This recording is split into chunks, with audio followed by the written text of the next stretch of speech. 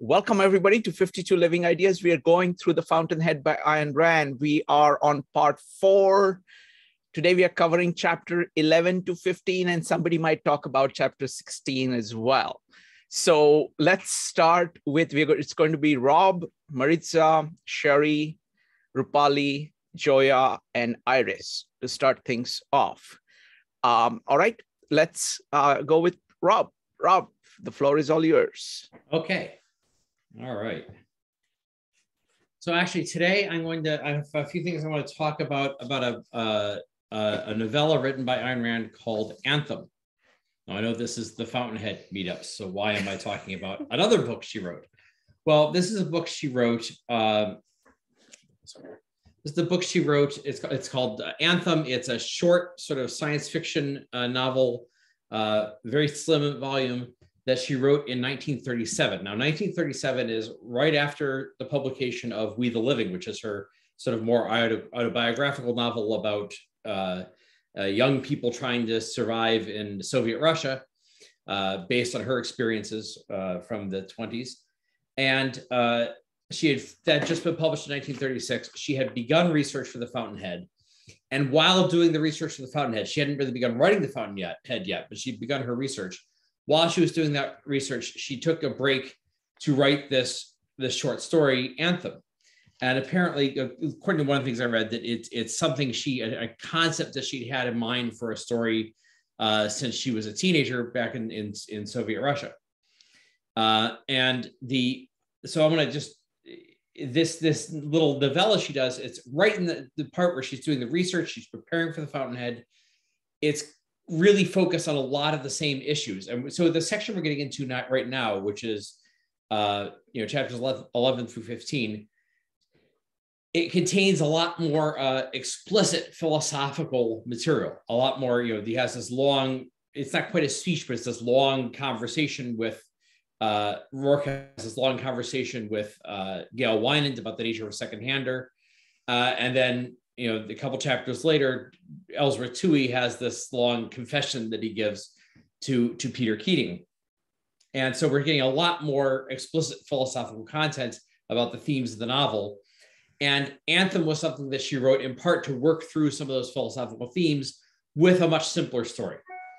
Um, so I think it's, it's highly relevant because it shows what issues she was thinking through as she was preparing and, and, and getting the themes right for the Fountainhead. Uh, now, Anthem, like I said, is 1937. Uh, it they give you, I'll give you a brief uh, overview. It's it's about more spoilers. I'll try to give as few spoilers as possible in this one. Uh, it's about a uh, sort of world in the indefinite future uh, where everybody lives in these sort of planned collectivist communities. And the big premise of Anthem is that the word I has been driven out of existence. It is unknown and unused. Everybody uses the word we, right? So there's no concept. There's the, the concept of the individual, you know, not just individualism, but the very concept of the individual as such has been uh, exterminated. And so the our hero is uh, uh, is named Equality Seven Two Five Two One. So it's the idea everybody has like this little slogan or catchphrase and a number in place of a name. People didn't even have names, they're all just numbers. They're all thoroughly collectivized.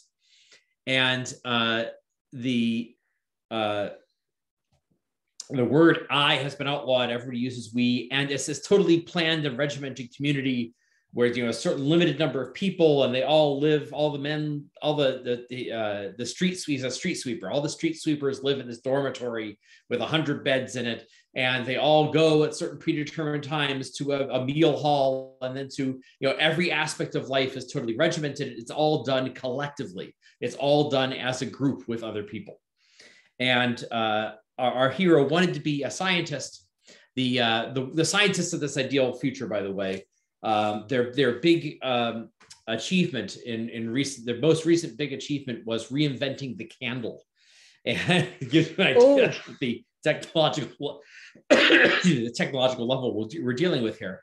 And but you know, it took them hundreds of years to invent the candle because it all had to be done by committee, right? Because nothing is done by an individual, everything's done by a collective. So there's this vast committee, and it took them many years to you know to to be sure of developing that they really wanted to develop it, how they were going to do it, to make sure it was adopted equally across the entire world and all these little utopian planned communities. So this is her, you know, again working through these issues of how the individual works versus how the collective works. And um, without spoiling anything, I'll say that you know this our main character goes off on his own and does things by himself and comes up with inventions and discoveries, and that's what drives the plot. But you can see that she's really working through this issue of what is the role of the individual in a society, uh, and specifically what is the what is the role of the self versus the group or the collective. Um, now, interesting enough, that I want to mention that I'm going to read a little excerpt from uh, uh, from part of the end of the uh, of Anthem to give you an idea of of, uh, of, of how she deals with the issue there. But I want to make a point that you know when she's sort of projecting this future utopian community where it's everything's planned and regimented and everybody lives in these sort of cadres of 100 people and and all of that is, is, is partly based on her Soviet experience. And in fact, uh, people have mentioned uh, parallels between this and uh, a book written in 1920 or 20, 1920 to 21, a book called We by Yevgeny Zamyatin. So it's a, a, Soviet, you know, uh, early years of the Soviet Union, somebody writing this uh, sort of science fiction thing about a future in which, uh, in which the individual doesn't exist. You didn't uh, need that pen. I did didn't you? actually need the pen, so I'm okay. Good. Uh, extravagant gestures, and there goes the pen. Uh, and so this was something that was, you know, around in the culture, but it wasn't just in the Soviet Union. Uh, there's this long, I'll, I'll, just throw that one away too. Uh, there's this long history, especially throughout the 19th century, of these utopian communities and this idea of a planned community where everybody you know lives in groups of 100 they, they like groups of you know these round mm-hmm. numbers. Like we're all you know the, the ideal size of a community is 10,000 people. So we're going to have the whole world planned of these communities of only 10,000 people.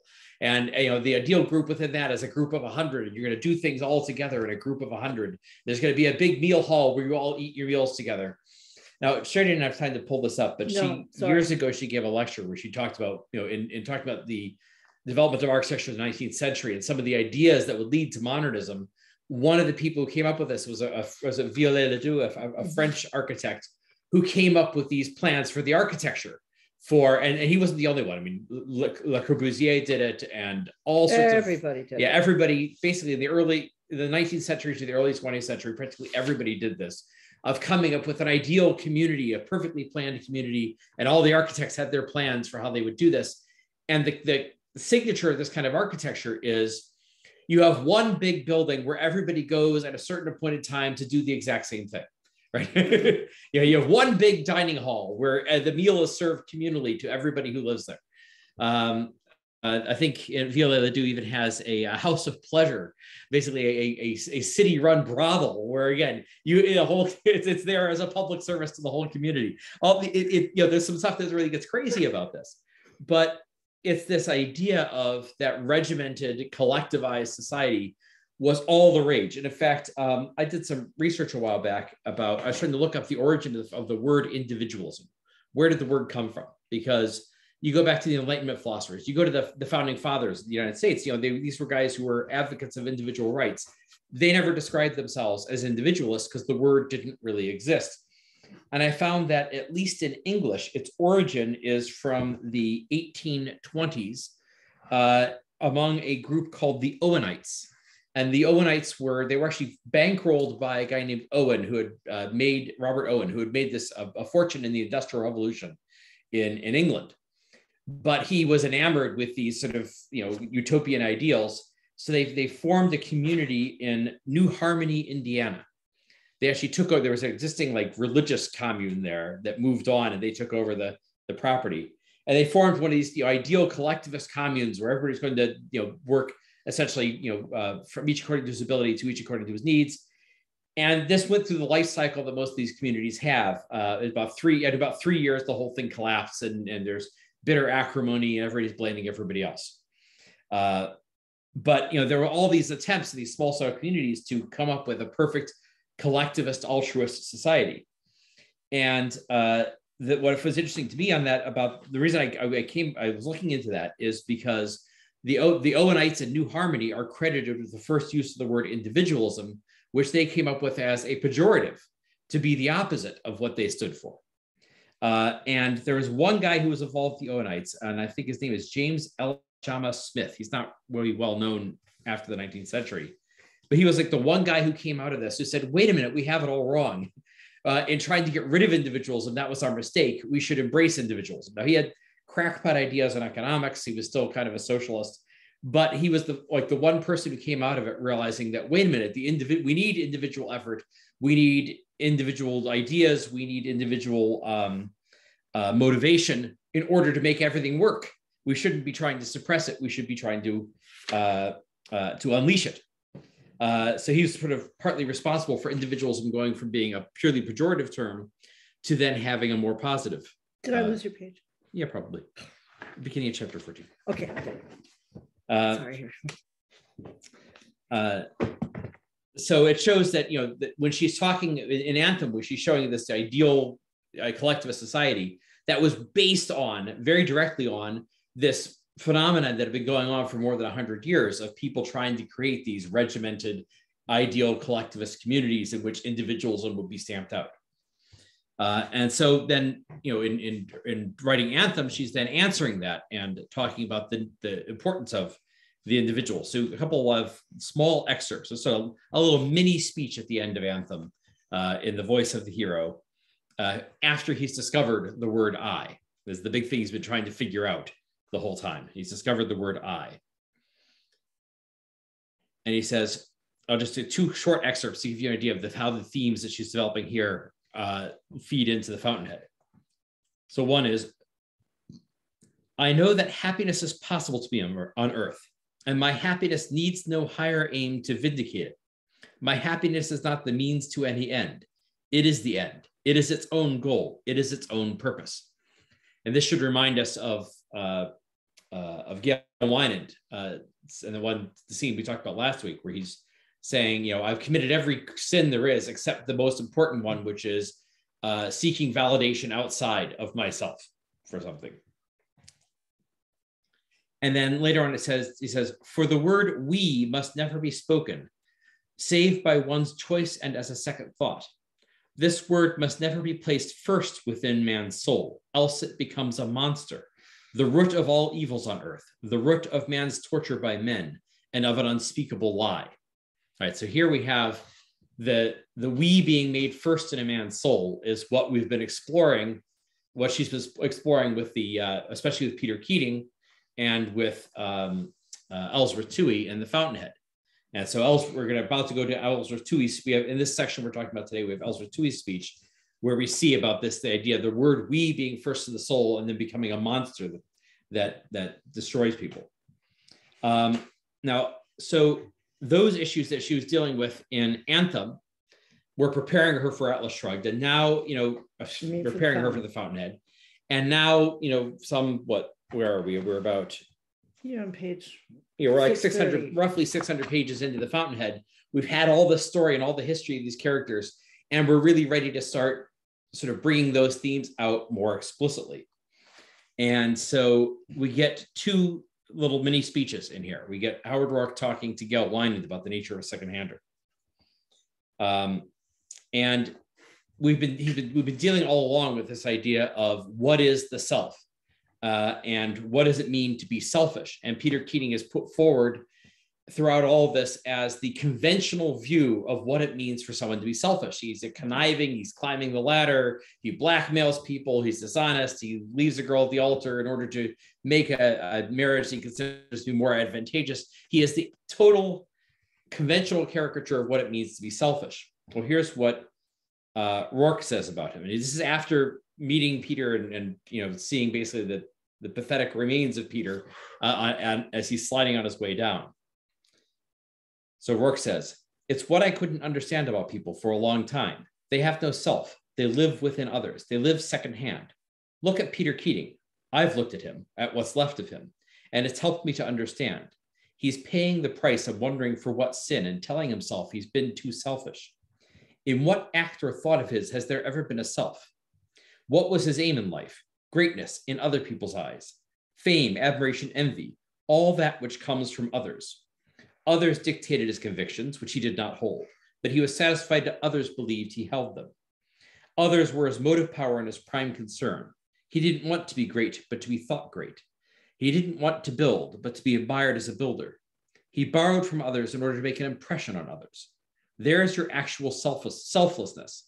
It's his ego that he's betrayed and given up, but everybody calls him selfish. Isn't that the root of every despicable action? Not selfishness, but precisely the absence of a self. Look at them. The man who cheats and lies but preserves a respectable front. He knows himself to be dishonest, but others think he's honest, and he derives his self respect from that secondhand. The man who takes credit for an achievement which is not his own. He knows himself to be mediocre, but he's great in the eyes of others. The frustrated wretch who professes love for the inferior and clings to those less endowed in order to establish his own superiority by comparison. They're second handers. So that's where he gets to the idea of second hand. They're getting all of reality is coming to them. Their, their sense of value, their self worth, sense of worth, their purpose in life, it's all coming secondhand through others. Um, but he also goes to talk about that what is the so if the self is what Peter Keating has been giving up, giving up, what is the root of the self? So he says a little bit, just a little bit later, what would happen to the world without those who do think, work, produce? Those are the egoists. You don't think through another man's brain and you don't work through another's hands. When you suspend your faculty of independent judgment, you suspend consciousness. To stop consciousness is to stop life. So the root, and this is a, a, another major theme of Ayn Rand's work, the root of the self is your mind, the independent mind, your ability to think. And I like the line to when you suspend your faculty of independent judgment, you suspend you suspend consciousness. So in a way, you know that's where that's how Peter Keating is making himself uh, uh, making himself selfless is that he's literally destroying the self uh, by making he's destroying his consciousness in the act of not using it and surrendering it to somebody else. Uh, now, the other th- issue I wanted to bring out here is then she also, uh, uh, through Howard Roark, she also brings up here the issue of altruism. Now, and remember, remind you here because it comes up in in uh, Toohey's speech too that altruism is being used here and it's very direct, full, completely consistent sense. The but taken from the origin of the, the the guy who originated the term, Auguste Comte, which is the idea that you live for others, vive pour autrui, you live for others, that literally other people are the purpose for every single thing you do in your life. And not only that you, uh, you know, that you live for others some of the time, but that you literally have no thought and that it's the, the, the sin in his sort of secular uh, religion that he created. The sin, the biggest sin was to, was to take any regard for your own well-being or your own uh, interests and everything should be done for the sake of others. So it's, it's the pure sort of distilled essence of selflessness. Um, so he says, let's see. After centuries of being pounded with the doctrine that altruism is the ultimate ideal, men have accepted it in the only way it could be accepted by seeking self esteem through others, by living secondhand. It has become a dreadful form of selfishness, which a truly selfish man couldn't have conceived. And now, to cure a world perishing from selflessness, we're asked to destroy the self. Uh, he says, uh, I, there's a line here that uh, I really like where he says, uh, he can, let's see, that, that the man who has been, who has absorbed this altruist ideology, quote, he can't say about a single thing, this is what I wanted because I wanted it, not because it made my neighbors gape at me. Then he wonders why he's unhappy. All right, so uh, this all of this is, is a setup is setting up so we got we get a lot of this insight on altruism and of the nature of the self from roark and then we get we get it from the other most uh, insightful observer, which is the bad guy, Ellsworth Toohey. And this is a scene where he comes to Keating's apartment to find out what's going on with uh, to get the real story about Cortlandt, uh, wring it out of Peter. And he gives this speech, this sort of confession. Uh, he says, I can never say this, you know, to anyone publicly, so I'm going to say it. Uh, but now, you know, Pete, basically Keating's enough of a wreck. He's been destroyed enough that he feels he can say it to him. Uh,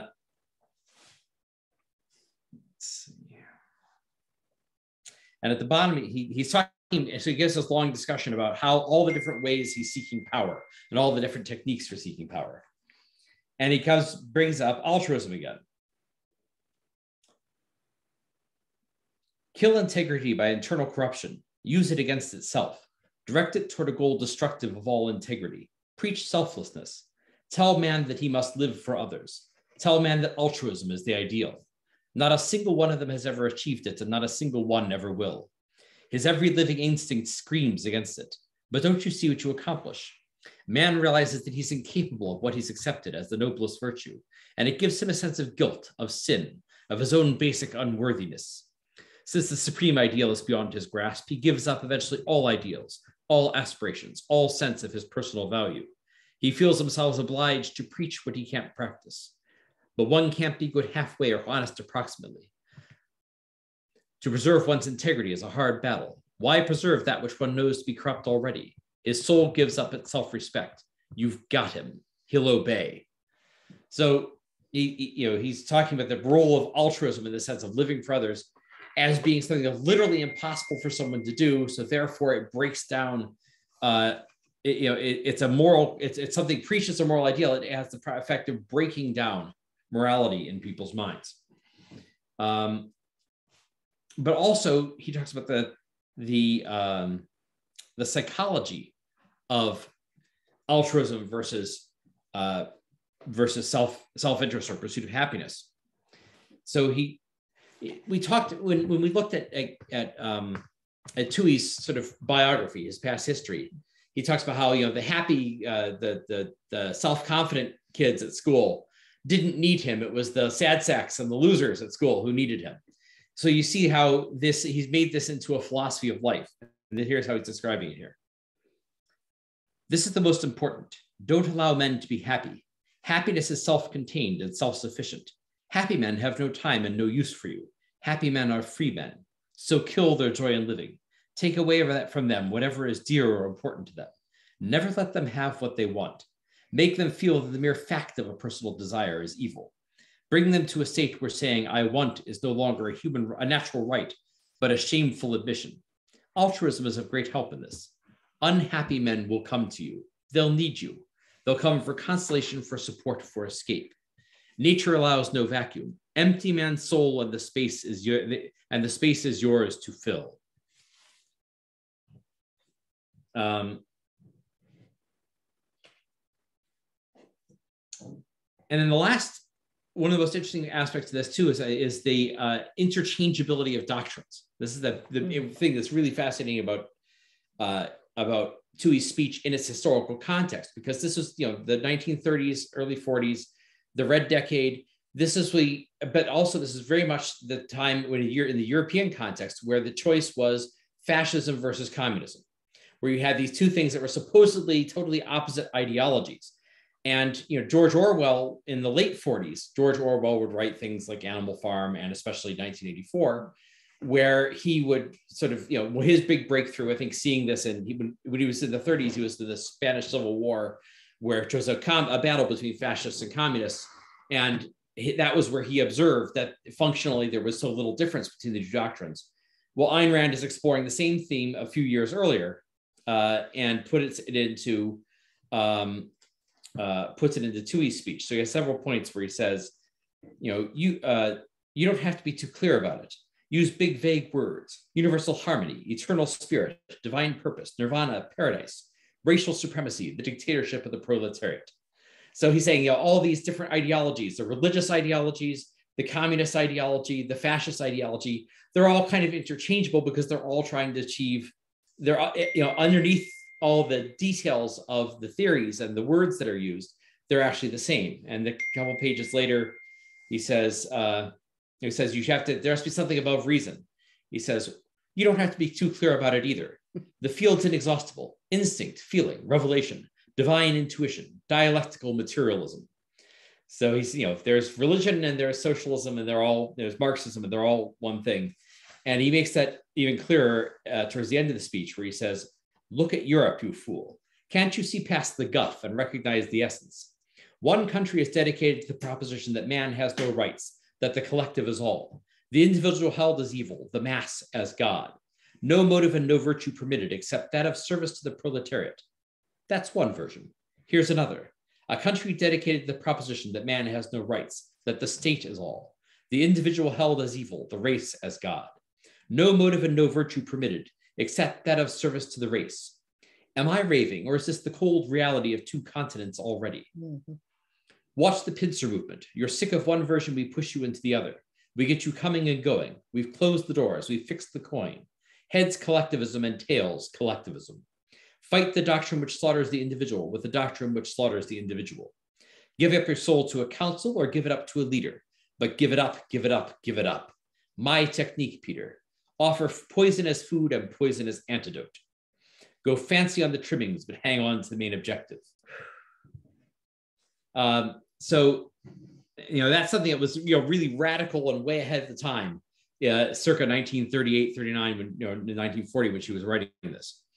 Um, and the most interesting aspect of it, uh, the last interesting aspect that I wanted to highlight is where Toohey says that uh, talks about his own role in all of this. Uh, 75, okay. Uh, now, if you were a little more intelligent, like your ex-wife, for instance, you'd ask, what of us the rulers? What of me, Ellsworth Monckton Toohey? And I'd say, yes, you're right. I'll achieve no more than you will. I'll have no purpose save to keep you contented, to lie, to flatter you, to praise you, to inflate your vanity, to make speeches about the people and the common good. Peter, my poor old friend, I'm the most selfless man you've ever known. I have less independence than you, whom I just forced to sell your soul. And he has a great line about how we'll have all subject, we'll have universal slavery without even the dignity of a master. So, you know, in the in the ideal collectivist future, the leader is the biggest follower of all.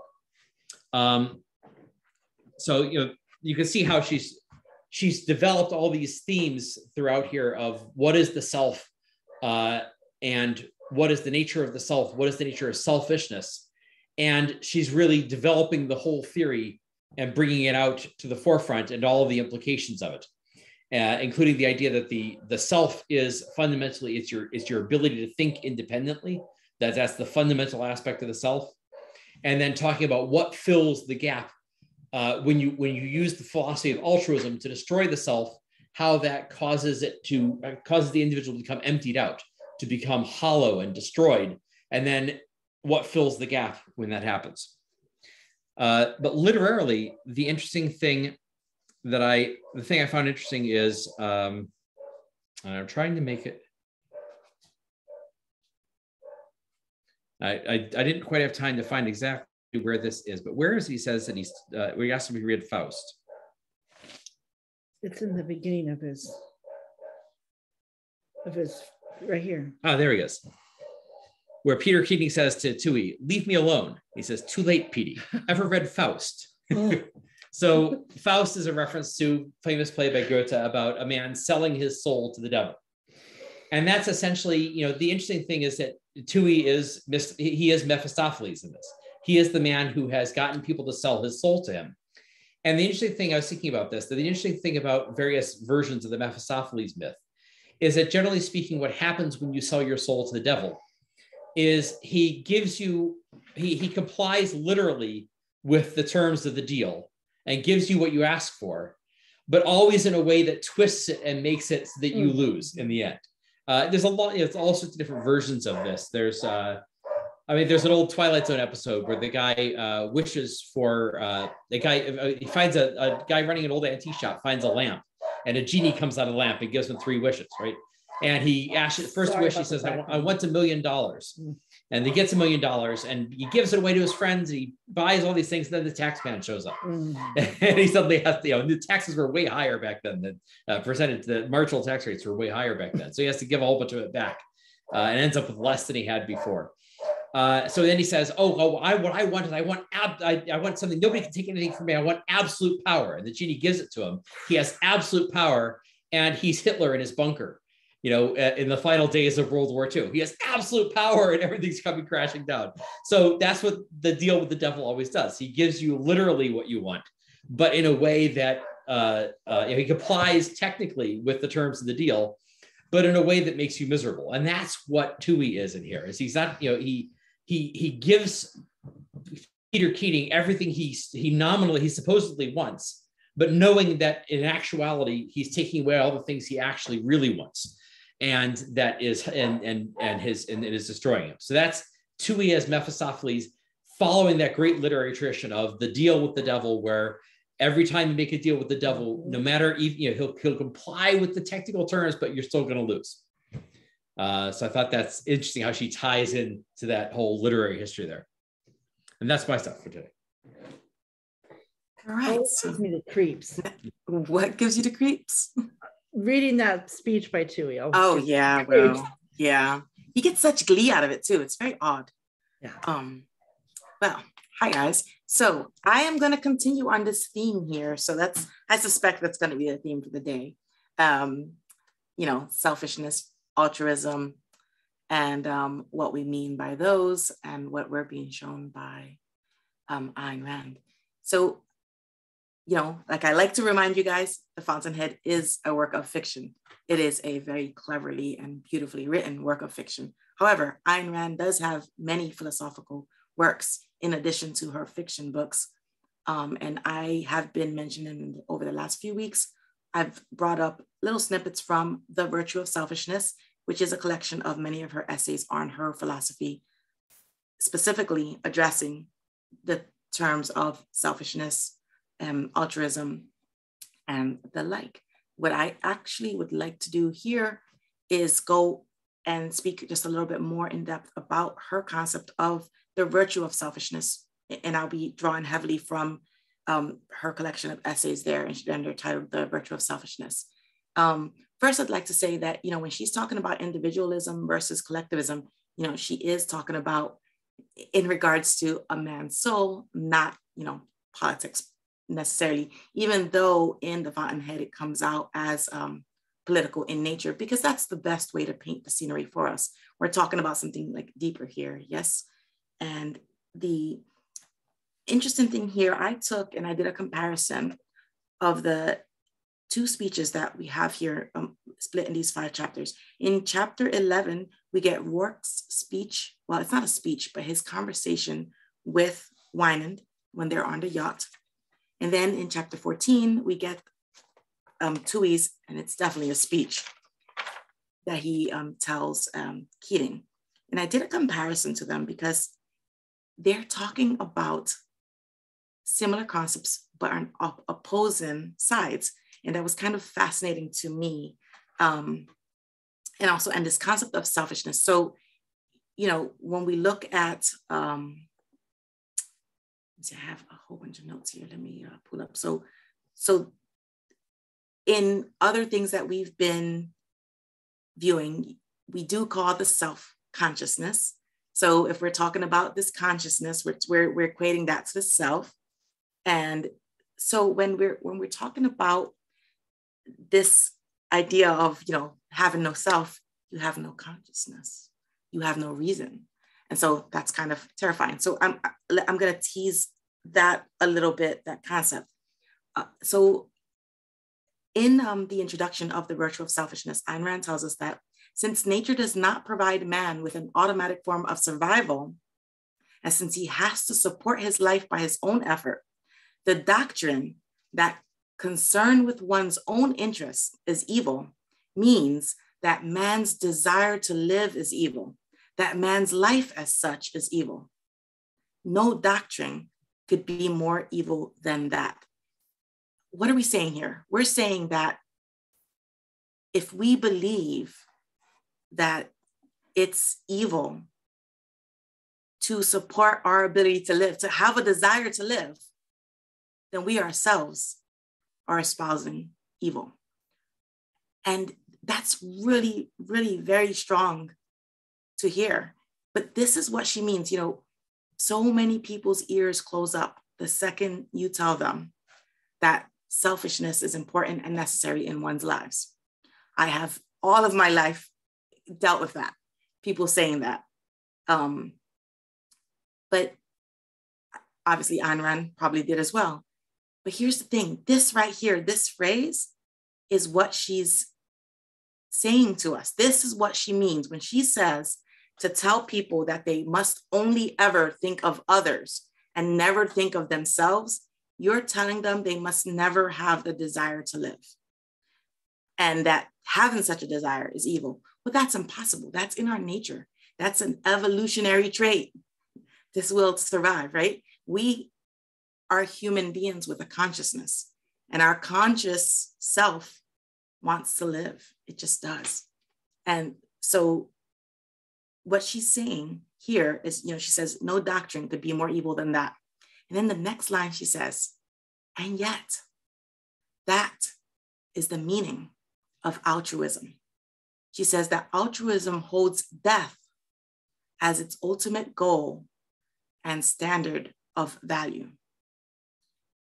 And so when she's vilifying selfishness and altruism. Before closing your ears, remember the definitions. Remember what it is she's saying that she's vilifying. She's vilifying the holding of death as an ultimate value and a goal here. So um, when Roark and Wynand are speaking in the yacht, they're talking about selflessness and the ego. And Gail is talking about how he erased his own ego. He says, I erased my ego out of existence in a way never achieved by any saint. Why? Because a saint will only sacrifice material things. I sacrificed my whole soul. I kept those material things and I gave the world my soul. The fascinating thing about Wynand is that he's very well, and both Wynand and Toohey, by the way, they both are very much aware of what they're doing. Wynand acknowledges that he gave away his soul and he's okay with it. Um, Toohey acknowledges that he's collecting souls and he's certainly okay with it. Wynand says, I wanted power over a collective soul and I got it. And, you know, he says, I've sold myself, but I've held no illusions about it. So he willingly, willfully gave up his self, his, his soul, as it were. And um, when we're talking about selfishness, you have this, it, it's, it's not quite a speech, but Roark barely speaks for paragraphs at a time. But in this conversation with Wynand, he does. And he's telling us, you know, actual selfishness is destroying the world. Actual selfishness, not, not the concept that's held as this beautiful thing where all you ever do is think of others. Because let's remember, we're human beings. If all you ever do is think of other people, what are you forgetting? The self. And that's not sustainable and it's not good for us. So that's what he's telling us. You know, he's saying that when you look at the mess that Keating has become, Keating is not sure how he's become this mess. He thinks he's this mess because he's been too selfish in life. But Roark asks us to wonder in what act or thought of Peter's was has there ever been a self? Others dictated his convictions. He didn't want to be great, but to be thought great. And that's that's basically it's his ego that he's destroyed and what he's given up. So his self is what he gave up because he wanted to be considered great. And, you know, Gail points out, well, this is a pattern that most people do follow.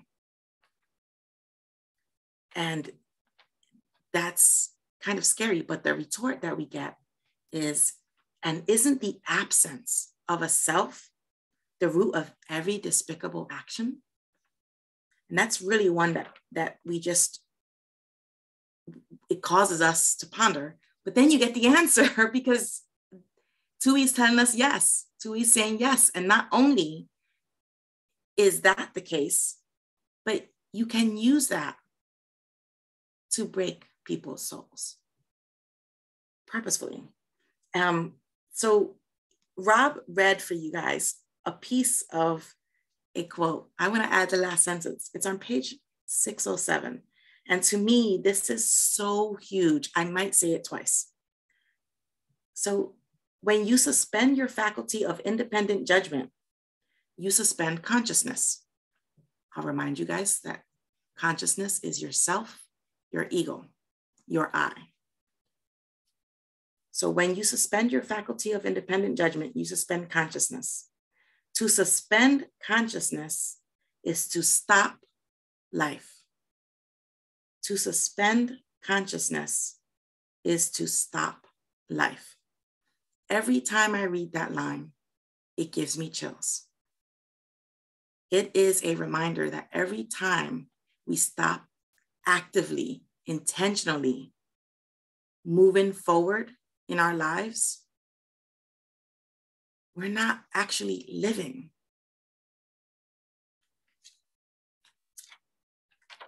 So second-handers have no self of reality.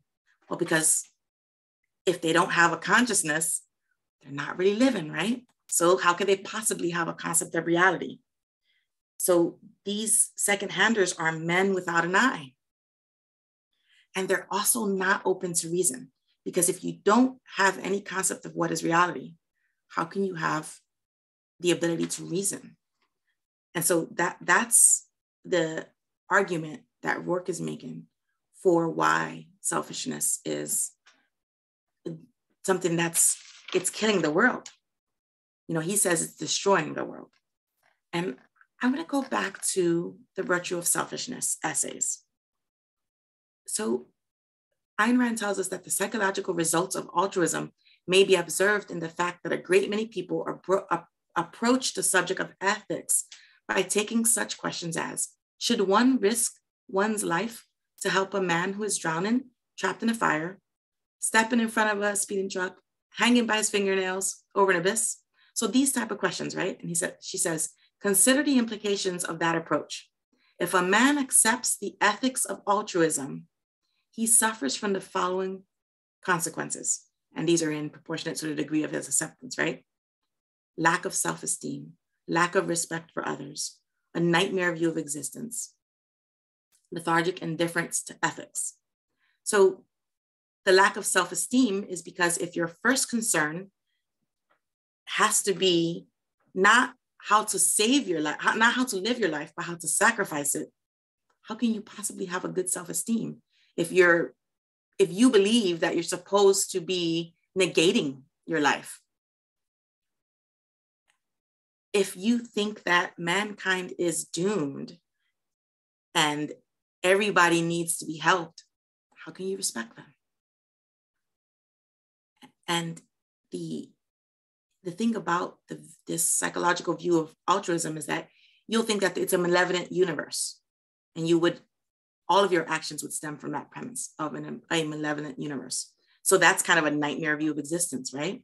And then the last one, the, the worst is that lethargic indifference to ethics. That's that's an amorality. It's like a cynical amorality because you are disconnected from this moral principles because you, you are told that the, the, the primary has to be this altruistic view of only helping others and never looking to you know increase or uphold the I. Uh, and that's so so that's her view on altruism there and that translates back to exactly what Toohey is saying because he brings in the word mediocrity which you know i brought up a little bit last week and, you know, I called it his merry band of mediocrities. And here, there's nothing merry about the way in which Toohey uses the word mediocrity. He's telling us that this is the way that you beat down people. The way that you destroy people is not by telling them not to look at great things or not to notice or don't even try to destroy the great things necessarily. You take away their ability to recognize the great. Make everything mediocre and everyone will be lost. That's, you know, the Cliff Notes version, right? Um, but he starts before, I mean, he totally eviscerates. I mean, he eviscerates Peter in this speech. And the saddest part is it's not from a desire to eviscerate Peter. It's just from a desire to have somebody hear his reasonings. And he knows he won't be able to make that speech for anyone else.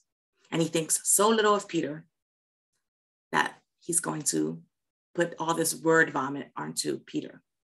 And he starts by telling him, you know, it's amusing to me that the one you loved, you destroyed, and the one you hated, you followed. And he's talking of Roark and himself. And he has an ugly moment before he goes into his speech, which I think is really telling. Before he goes into his big long diatribe, diabolical, I can almost like see him rubbing his fingers together. Before he, he goes into that speech, he says something which I think is really interesting. And I think there's that little bit of ugly resides in anyone who's trying to force people to reject any greatness. He talks about the fact that he wants Roark to end up in jail. And his reasoning for wanting Roark to end up in jail is because he'll have to take orders. And he and it's the way it's written, again, brilliant literary writing here the way it's written, what he's he's doing is it he seems almost like he's his voice is like the way I read it, I can't help reading it and envisioning him with his voice escalating and his eyes getting all big and maniacal and his like fists, his hands going into fists, because that's the way it's written. Um, and what it is is that he wants this one person who has the ability to achieve greatness to be pounded into submission and it really, truly irks him that he has not been able to do so. And so now he's hoping, or not hoping, he's wanting the um, government to do it for him through the jail system. But it's so ugly a sentiment. It's like, I need to see someone who's striving for greatness downtrodden. I need them to be stepped upon like need it. That's the view that we get from him. It's really ugly. But then the nice thing about seeing that, if there's any nice about it, is that you're not as shocked or horrified as you're reading his speech because you saw his true nature in that hysterical rant about Roark being in jail and having to take orders. Which, again, brilliant, brilliant writing because she gives us his emotional sentiment in that little tiny paragraph rant. And then he spends three pages, you know, as Pinky in the Brain on top of the world. Um, so that, but he's telling us again the idea of, he's talking about the soul, right? And he says the soul cannot be killed. You can't kill it. You have to break it drive a wedge into it, get your finger into it, and then the man is yours. If you kill a man's sense of values, his capacity to recognize greatness or to achieve it, then he's yours, right? He says, then you have absolute dominion and power over him. He says, enshrine mediocrity. And the shrines are raised. So if you don't like a temple, if you don't like a religion, if you don't like a movement. Don't try to go against the movement necessarily. Kill somebody's ability to recognize that movement as great, and the movement will crumble. And that's very chilling. Kill reverence, and you've killed the hero in man. That's terrifying because we all need we all need to have heroic moments. It's again, it's that whole concept of without the I, you cannot do so many other things. You need that I. Without the I, you just cannot move forward in so many things. If we look at Shrikant's model, it's that inverted I is what Toohey is talking about here. This lack of having a an individual thought. I really like um, the the way that Rob pointed out for us. You know, this idea of just the collective and the the kind of scary implication that that means. But even Toohey tells us that man has, they do have a weapon against you. If you're somebody who's trying to collect their soul and you're trying to enshrine mediocrity, they have a weapon, and the weapon is reason. And he does give a, a reference to octopus, I will say. I think it's inaccurate. I mean, octopus are supposedly super intelligent. So to say that they only have legs and no head, it's, it's kind of rude. But anyway, um, he uses the word bromide. It's not a word that you would encounter very often in your day to day. Basically, what it means is something that's trite, unoriginal, and he's equating that to what he thinks we should be, which is horrifying. What I find to be pure evil is something he actually does say, and it's it it aligns perfectly with Roark's statement that to suspend consciousness is to stop life, right? And so, what Toohey tells us is that he says, let progress stop, let all stagnate.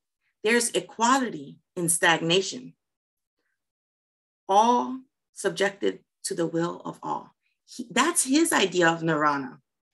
And that's horrifying. You guys have heard me often saying that I believe that without forward movement, we're lost. The way towards improving ourselves, towards improving our communities and our culture is to keep walking that meaningful path. If you find yourself off, go find that spot again, right? And also, it's the idea of how you have to improve the I. Hold the I strongly, nurture it, feed it, and that's the best way to improve the community and the culture. This is the exact opposite. He's saying there's equality in stagnation. So technically, he's correct. Sure, there is equality and stagnation.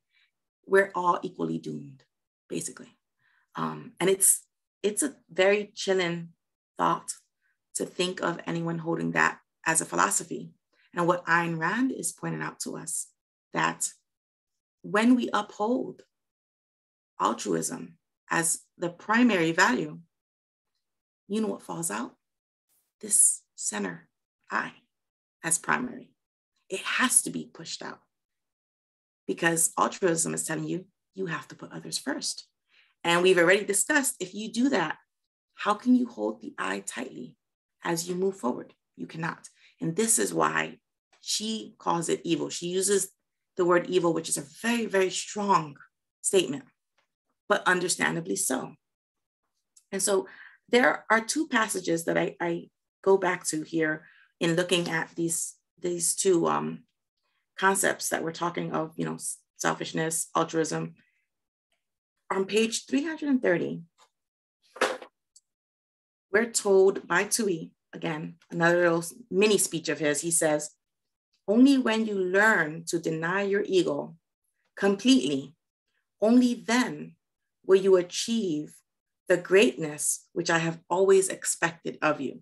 So now we fast forward closer to the towards the end of the book, and what he's saying to Peter is, "You've achieved this. You're you're my biggest success story." So what he's saying to Peter is that you have so completely denied your ego that I, a power hungry collector of souls, find you to be my my success story, and that's kind of horrifying. Another thing he he says um and this is just this one's just a little bit earlier. It is on page 595 he says i don't believe in individualism peter i don't believe that one man has any one thing which or is any one thing which anyone else can't be i believe we're all equal and interchangeable. What a dull world indeed it would be if we were all equal and interchangeable. I think that that is a gross inadequacy in the statement of human beings in general. Um, we are not so very many in this room here, virtual room here today, and yet not a one of us is interchangeable from the other. Every person bring every being brings in something different. We're all reading the same book, and even that we're we are performing a collective action together, but we're all reading it, understanding it, digesting it, taking from it slightly different things. And that being the case, how can we possibly be interchangeable? Because every small little thing, even if it's a tiny kernel that triggers a memory from your childhood, and you share that memory with someone else, and somebody else is like, I never considered that, or what a beautiful story. Now you've you've impacted someone else's life. How could you possibly be interchangeable with someone else? It's it's not possible. And so to me, you know, that's the, the good thing about seeing Toohey's speech here is that we're shown what not to be. Let us ensure that we don't drift. Let us remember that the self is the ego, is our consciousness. And let's hold on to that. Because if we don't, we end up stagnant. And then you're right where the Tooheys of the world want you. And, you know, again, there's this idea of, or this, this statement here to suspend consciousness is to stop life. I have had some history where I had, I call it my two lost years, right? To get myself out of that and to move forward, I just woke up one day and wrote a little piece on a little piece of paper surviving is not living. And I taped it up in the mirror in the bathroom. So every day when I went in, because you know we all go into the bathroom every day. It's impossible. You know you can't skip that in the first world, right? I saw that, and every day I read that, and that propelled me towards just one step in front of the other to rebuild because the Maritza that was died, and I was not working on resurrecting even a semblance of my I. And I didn't even realize it it took two years and someone, some external um, um, event for me to realize that I was just floating. I was not living. Um, and so when I realized it, I wrote that note, it was the first thing I did, very first thing I did. And then I started slowly working myself back into the world of the living. And that's the way I think of it that I had to work myself back into the world of the living. And why? Because I wasn't consciously doing anything. And so I was not truly alive. And so when you guys hear me talking about let's keep walking on that meaningful path, forward movement is the way towards improvement. I believe that with every fiber of my being. And, and I think it's so easy, especially in today's modern world, it's so very easy to be floating and not floating along and evading and just not really doing anything without being aware of it. Um, and you can accidentally become a second hander. When we see Toohey and Wynand, these are examples of two people who are very much aware of what they're doing. They, they're not evading. So then there's that's like the other thing. It's like okay, so now I've got it in my mind, I'm not going to evade. So, what do I do to ensure that I don't go down that path? A thought here is so I started putting one step in front of the other, but I started working on myself. If I had focused all of my energy on others without taking the time to focus on myself, So let's remember that what I was saying was the Maritza that was died. If I didn't recreate a new Maritza or a new version of a Maritza, and all I did was worry about making sure everyone else was happy or I was giving everything to everyone else, what, where would I be? I would not be who I am here today. And I think that's that's the cautionary tale that we're being shown here. In all this word vomit from Toohey, what you're getting is the evil that can happen within oneself if one is not attentive. So if we don't take control of our consciousness and we don't move forward with purpose, someone else is going to take control of your consciousness for you. And you may move forward, you may move sideways, but you're probably going to not move at all and only think you're moving. And then one day you're going to wake up and realize that there are these like puppet strings very, very firmly attached to your soul. And you will be as sad and miserable as Peter Keating. The now these these are two big main components that I did want to talk about. I'm going to spend like two seconds just to talk about, you know, that was chapters 11 and 14 for the most part what we also see happening here in these chapters is the downfall of the banner. And it's not dead here. We're just seeing the trouble, right? The, tr- the trouble with the banner and the crazy Herculean efforts that Wynand and Dominique are trying to take to save it. By the way, I will say these, these five chapters are the chapters in which I least respect Dominique. And I am very much in Team Dominique for the most part. In these chapters, I have a very hard time with her actions because to me, I feel that they are um, dishonest. That's me personally.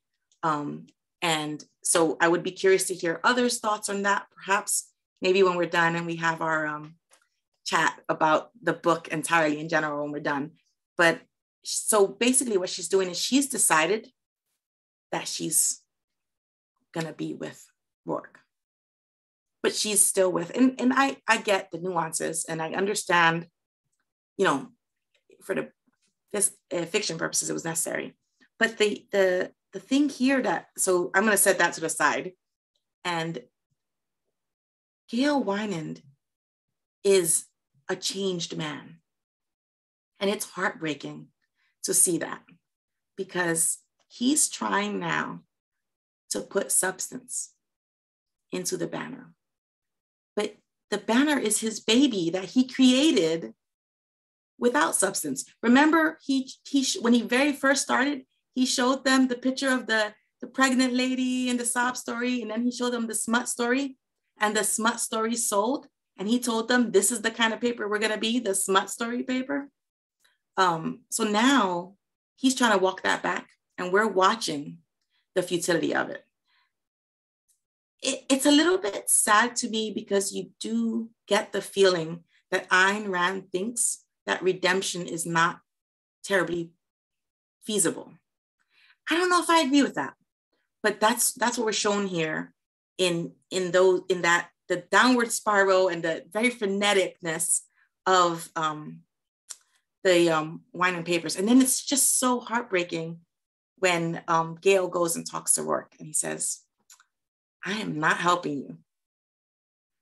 Um, and he's realizing it. So you see, this is a second hander who realizes that he wants to be a first hander, but his current actions are just not going to get him there.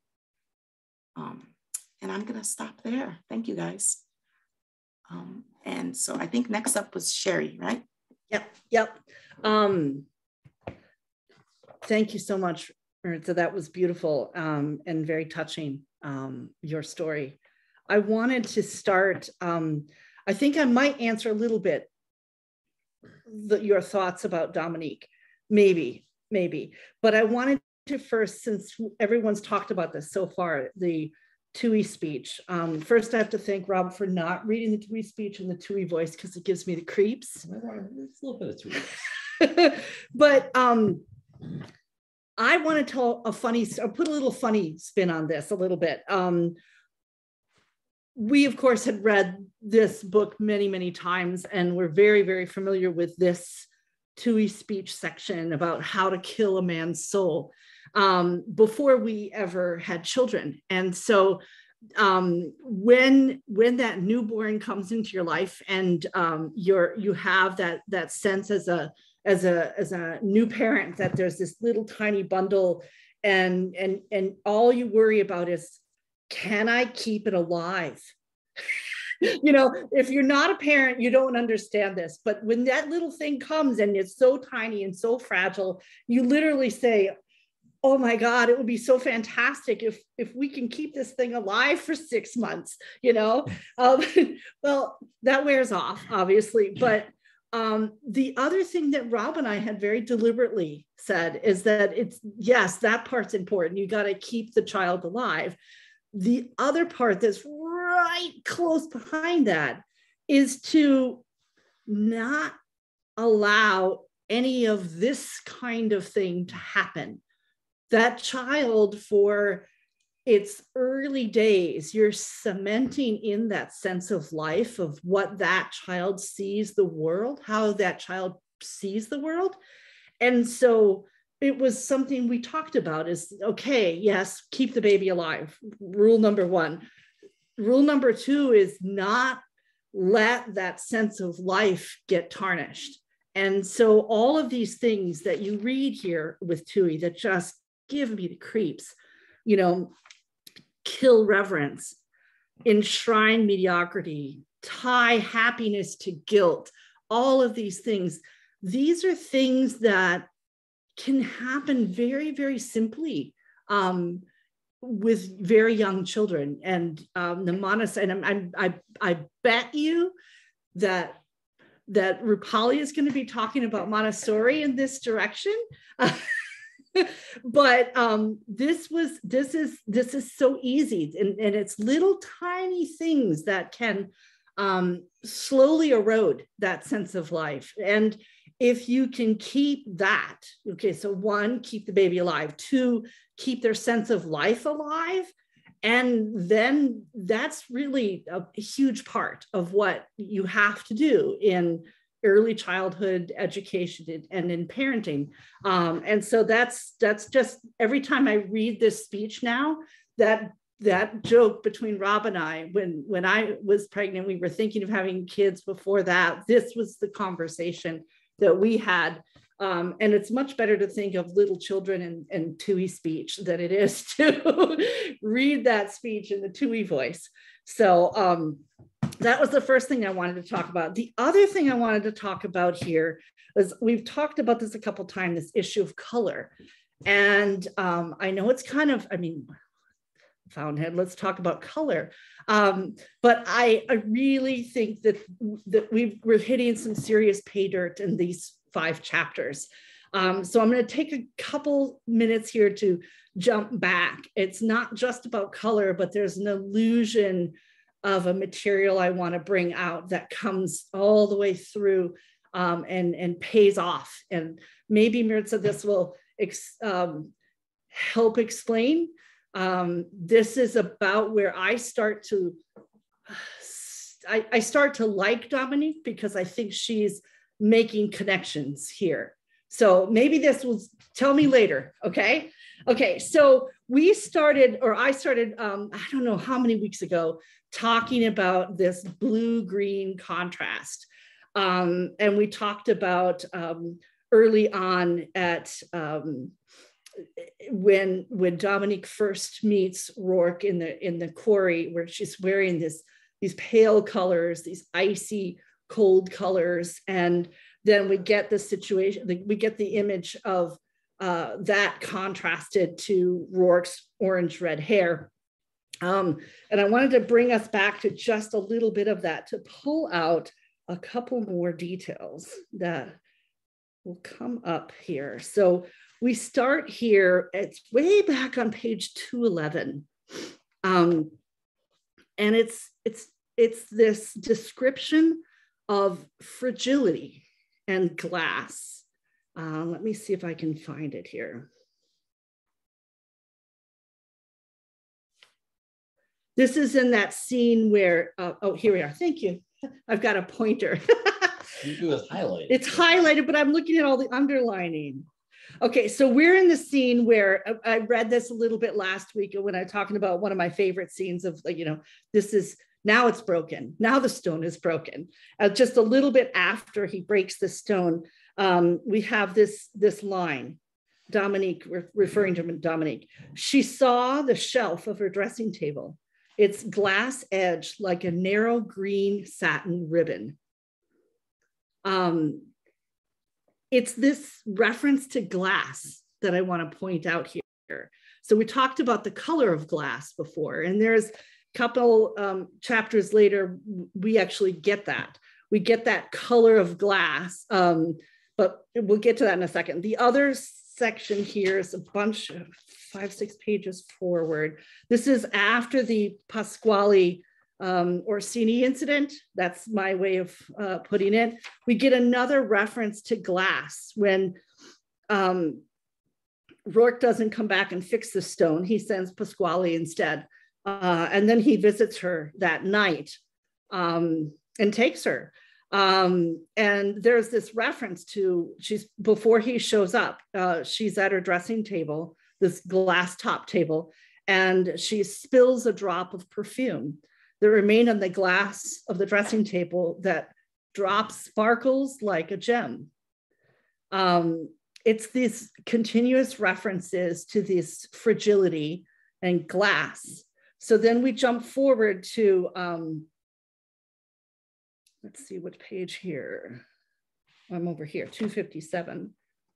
Oh, oh no, there's another one here. Yeah so crystal so as um as roark is is taking her um she's knocking he lamp she grabs a dressing a lamp off the dressing table he knocks the lamp out of her hand and the crystal bursts into pieces in the darkness um there's another of that fragility glass reference um and then of course he leaves uh, she doesn't go to the quarry for three days um, and when she does finally arrive back at the quarry looking for him, he's gone. Of course, Enright finds him. And so he's left for the city. And so she thinks she's never going to see him again.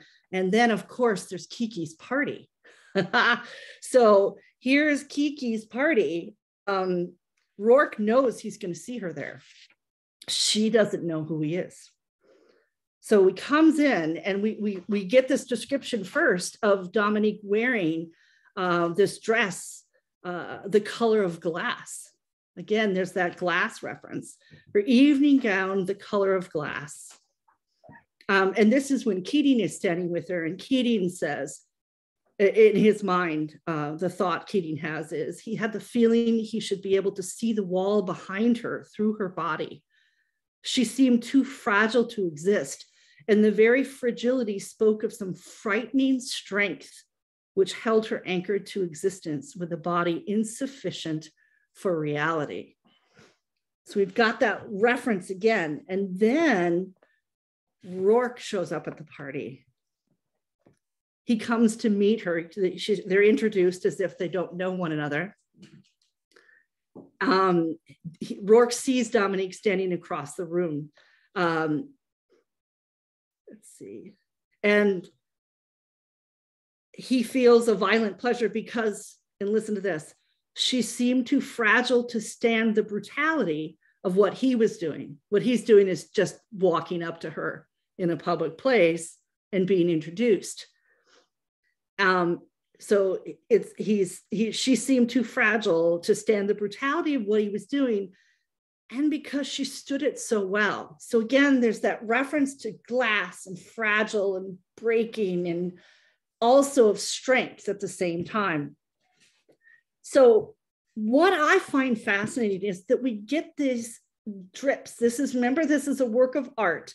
So their details make a difference. And in a painting, if you had a color, and I think we talked about this once when um, I, I had I was I was talking about a particular painting that had little drops of red color, just little bits, and it causes your eye to catch that detail and follow it through the painting. Well, I think that these references to green, ice blue, and glass are something that we always see referenced to Dominique. We see that reference of the fragility of her very thin, slender body, never being strong enough to handle reality. Um, and then we get this storyline that shows how that is so not true that she has the strength beyond beyond anyone else so then we have this storyline coming forward and remember we talked about this where the color changes when she's she's in her relationship with peter everything is uh, she's always wearing gray. And when she's in her relationship with Wynand everything's in super contrast in black and white. And so in this group of chapters, we've jumped forward, you know, 400 pages or so. Um, and we, we are at this scene where Roark is gone on the yacht for three. By the way, if anyone wants, I'm pretty tired. So if anybody wants to take me out on a yacht for three months, I'll even cook. Uh, seriously. but anyway, so he arrives back, and of course, why does why is he gone for three months? I don't know any architect who would be gone for three months in the middle of all their projects. But this has to happen because Cortlandt has to be built before he can notice what's happening, right? That has to happen for the plot. So he comes back three months on the yacht.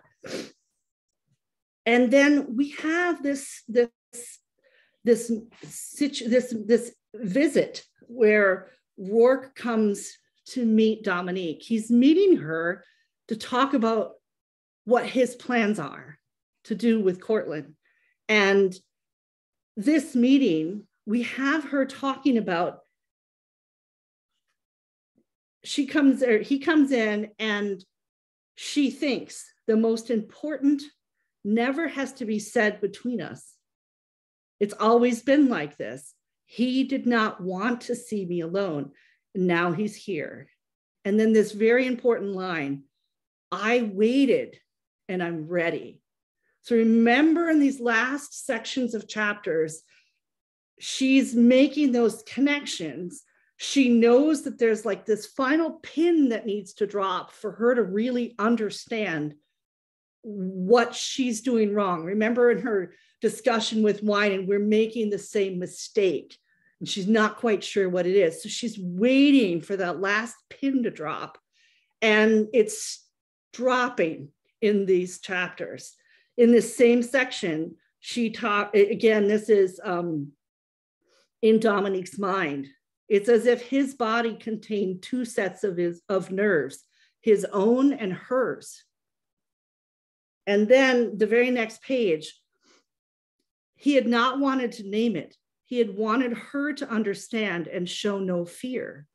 Remember, it's the fear of him in the world that is the thing that's driving her to try to destroy. She had not been able to accept the Stoddard trial. She had run from the dread of seeing him hurt by the world, but she had agreed to help him in this, had agreed in complete serenity. She was free and he knew it. And that's a really important part. He knew it. So then what happens is, of course, we have the, the scene at Cortlandt. She has run out of gas. Her car, here we are again, color, black car, red leather. Remember Ayn Rand writes in her treatise on fiction writing, um, the details of a work of art, there's nothing to begin with. Every detail you put in is important. She's also wearing a black dress, black silk dress. Um, she's often wearing silk or satin, which is a luxury, a tied to a luxury item, but it's also about the flow of it and that'll come in a, in, in, in a second here too. Um, then there's of course this crash of sound. Um, and there's this reference to white crosses on black windows. Again, that ultimate contrast that happens. And then there's this detail a blinding flash, and the glass panes of the, sky, of the skyscraper across the river glittered like spangles. That's really, really evocative description because here we are. This is a woman who lives in utter luxury. Spangles are what she would normally wear on one of her fanciest dresses. You know, all the every breath she would take and the whole dress would sparkle. You know, think classic Hollywood. Think, um, ooh, think of that dress that um, in Fred and Ginger. What's the one particular movie? She's wearing, oh, that's the feather dress. Never mind. Yeah. Feather, sorry. Um, but there's this, this, it's not just glass now, it's now fragile glass glittering like spangles. And then of course, she, she has to she has to be seen with that broken glass. So these handfuls of glass she puts over herself and then cuts herself with sharp splinters. And then there's this really important line she was free. She was invulnerable. But we don't know here that she'd cut an artery. This is Dominique. Remember, what was it Wynand says? If you ever were in love with, with someone, you would put him through hell. She has to take everything to the very, very end that's her strength. And so we see her take this to literally the almost last breath of her life. But she's free. She's now not afraid of being in the world. And this is when the pay dirt happens. So, of course, she spends, we don't even know how much time she spends in the hospital or recovering back at home. But she's in chapter 13, recovering at home, and her bedroom is described as the bedroom seemed lacquered with light. It's the clarity of crystal over everything. And so here's where that reference to glass, now we get this in a different way. It's the clarity of crystal. And that's really Dominique's thinking now has become that clear, that clear, like the clarity of crystal. Um, and then we have something quite interesting, and I don't know if any of you caught it. We've got this time, and I know Maritza is like, okay, she knows she wants to be with Roar. Why is she still with Wynand? because Wynand needs to to make his clarity too. He needs to get through that process. But there's something really fun that happens, and I don't know if you caught it. Bottom of page 650.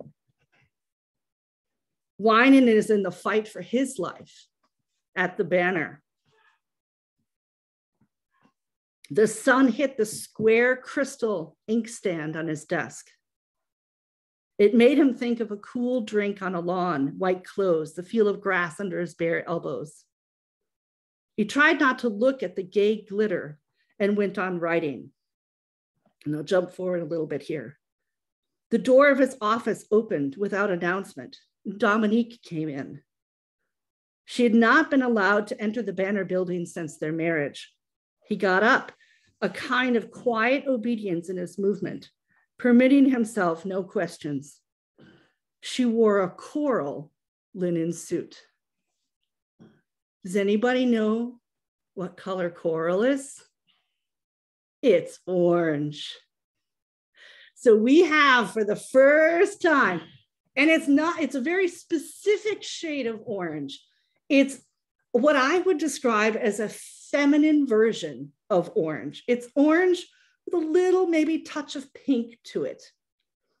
So boom, we're no longer in black and white. It's like it's like Ayn Rand had this black and white movie version, and she had this vision that all of a sudden it should crack into color at this scene in such a way that we can't help but realize she's made a major change in her thinking, and it's now inevitable. It's just a matter of time. So that's mine for today. And who's next? I think, is it Rupali? Yes, Rupali is next okay. up. Sherri, that was wonderful. I was, um, you know, when I read the part about she was wearing a coral linen suit, I thought of you. And I was wondering if you would bring that up today. Rupali, so, um, we can't see you. Oh, just give me a second.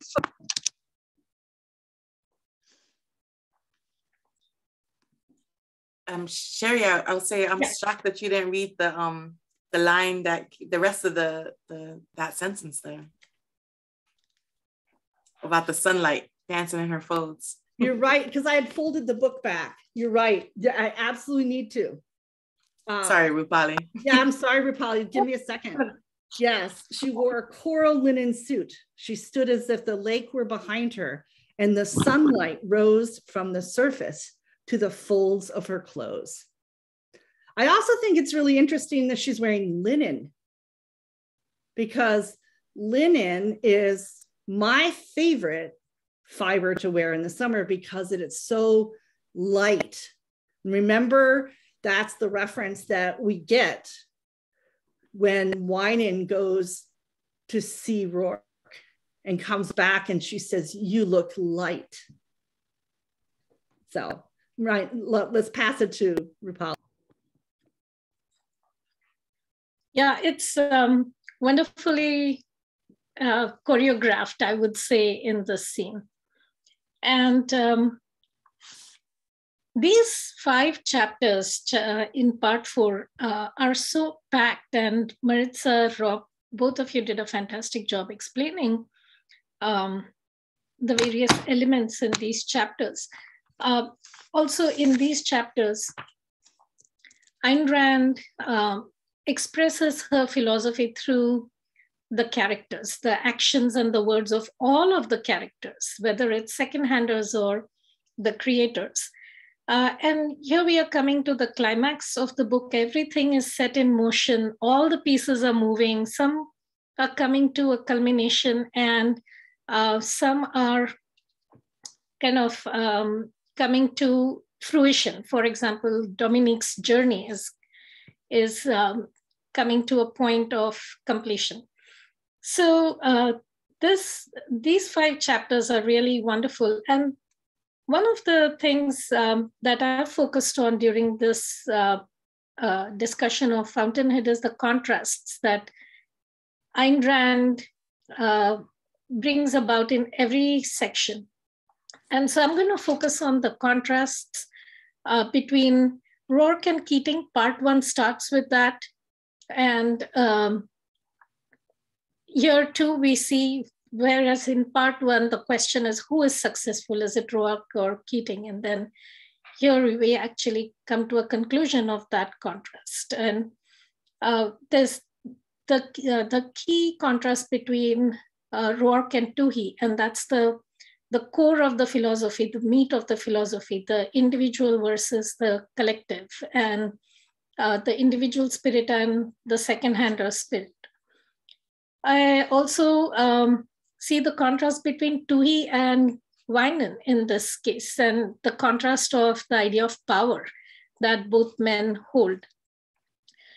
Um, and then it uh, kind of culminates into the love between Dominique and Roark. Um, again, uh, as um, Sherri has pointed out, this this whole journey between the two of them, and it's like I feel with Dominique, it just cannot be a straight, even path. It has to be violent. It has to be dramatic. It has to have that element of drama to it.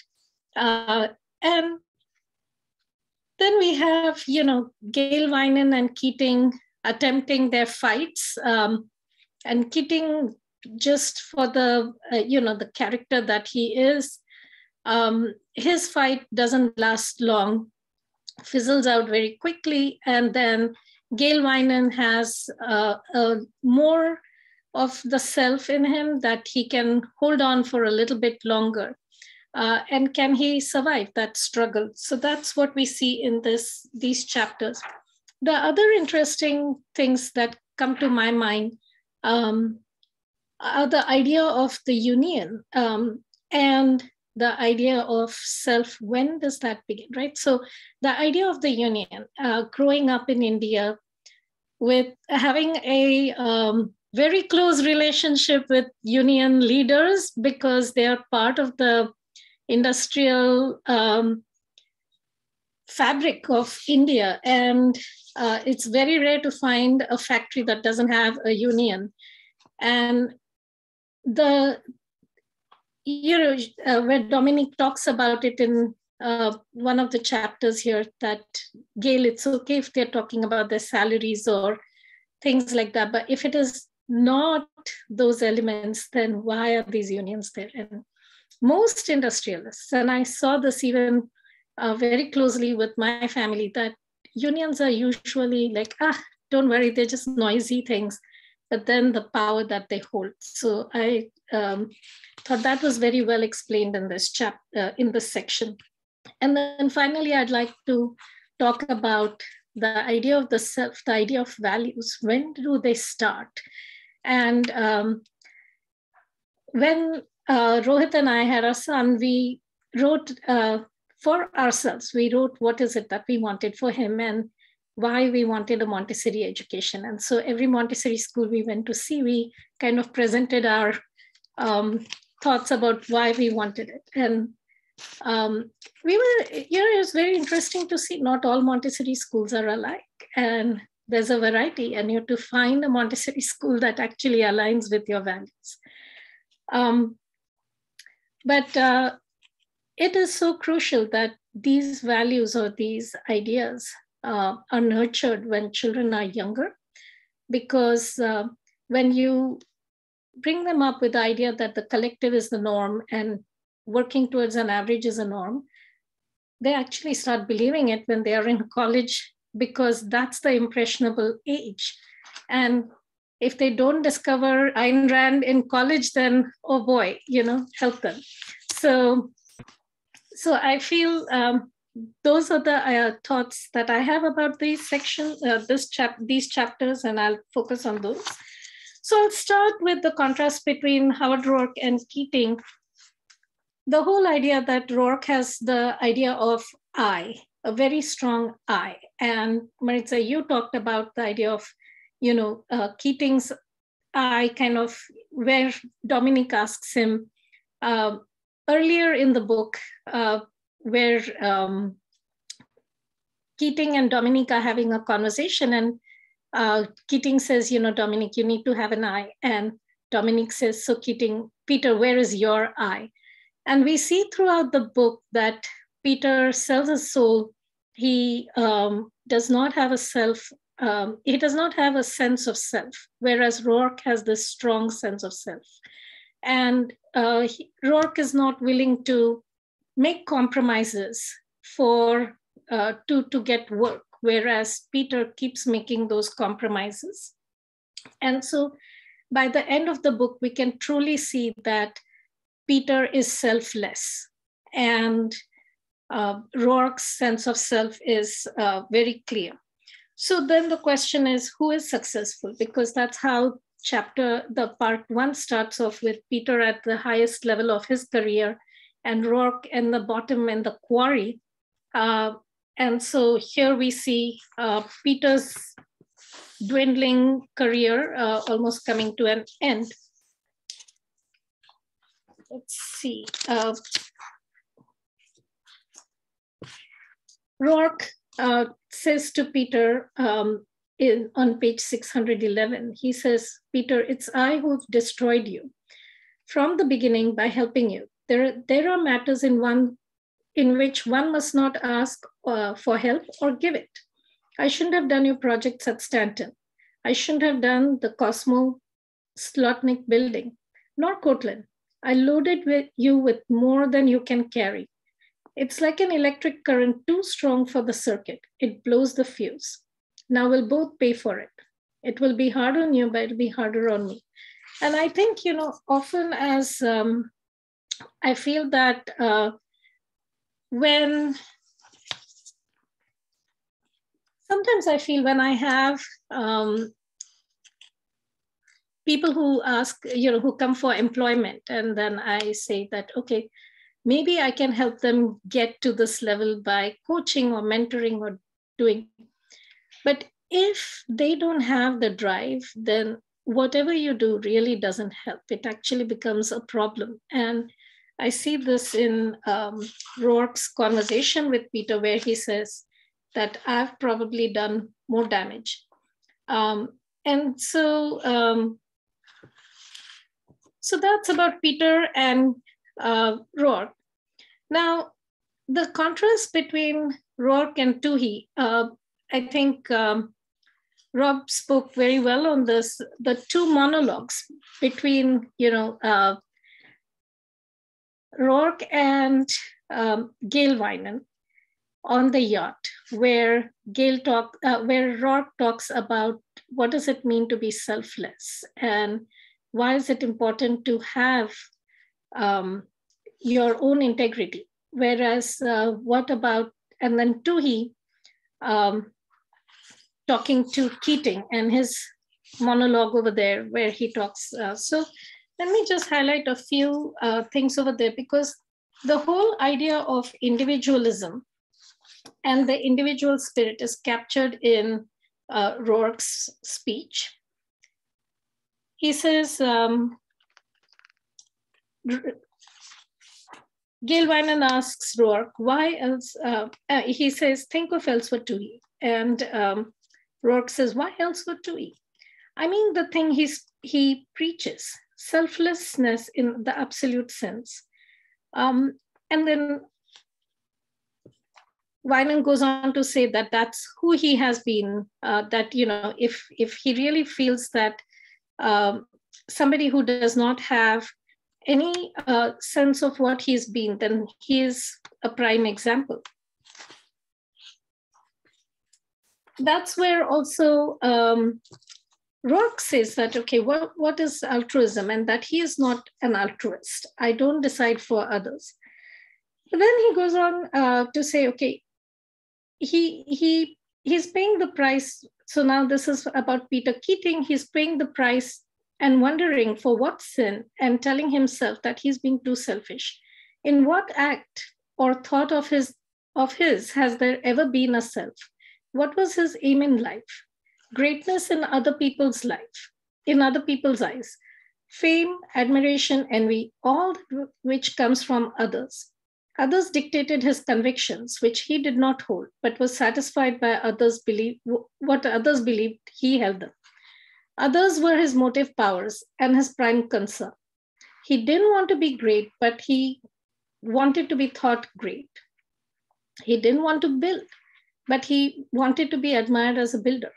He borrowed from others in order to make impression on others. There's your actual selflessness. It's his ego he's betrayed and given up, but everybody calls him selfish. And um, that, that whole dialogue. Okay, so he goes on to say, the man whose sole aim is to make money. Now I don't see anything evil in a desire to make money, but money is only a means to some end. Uh, so that's um, if Ellsworth Toohey, I'd say, aren't you making out a case against selfishness? Aren't they all acting on a selfish motive to be noticed, liked, or admired? and that's by others, at the price of their own self-respect.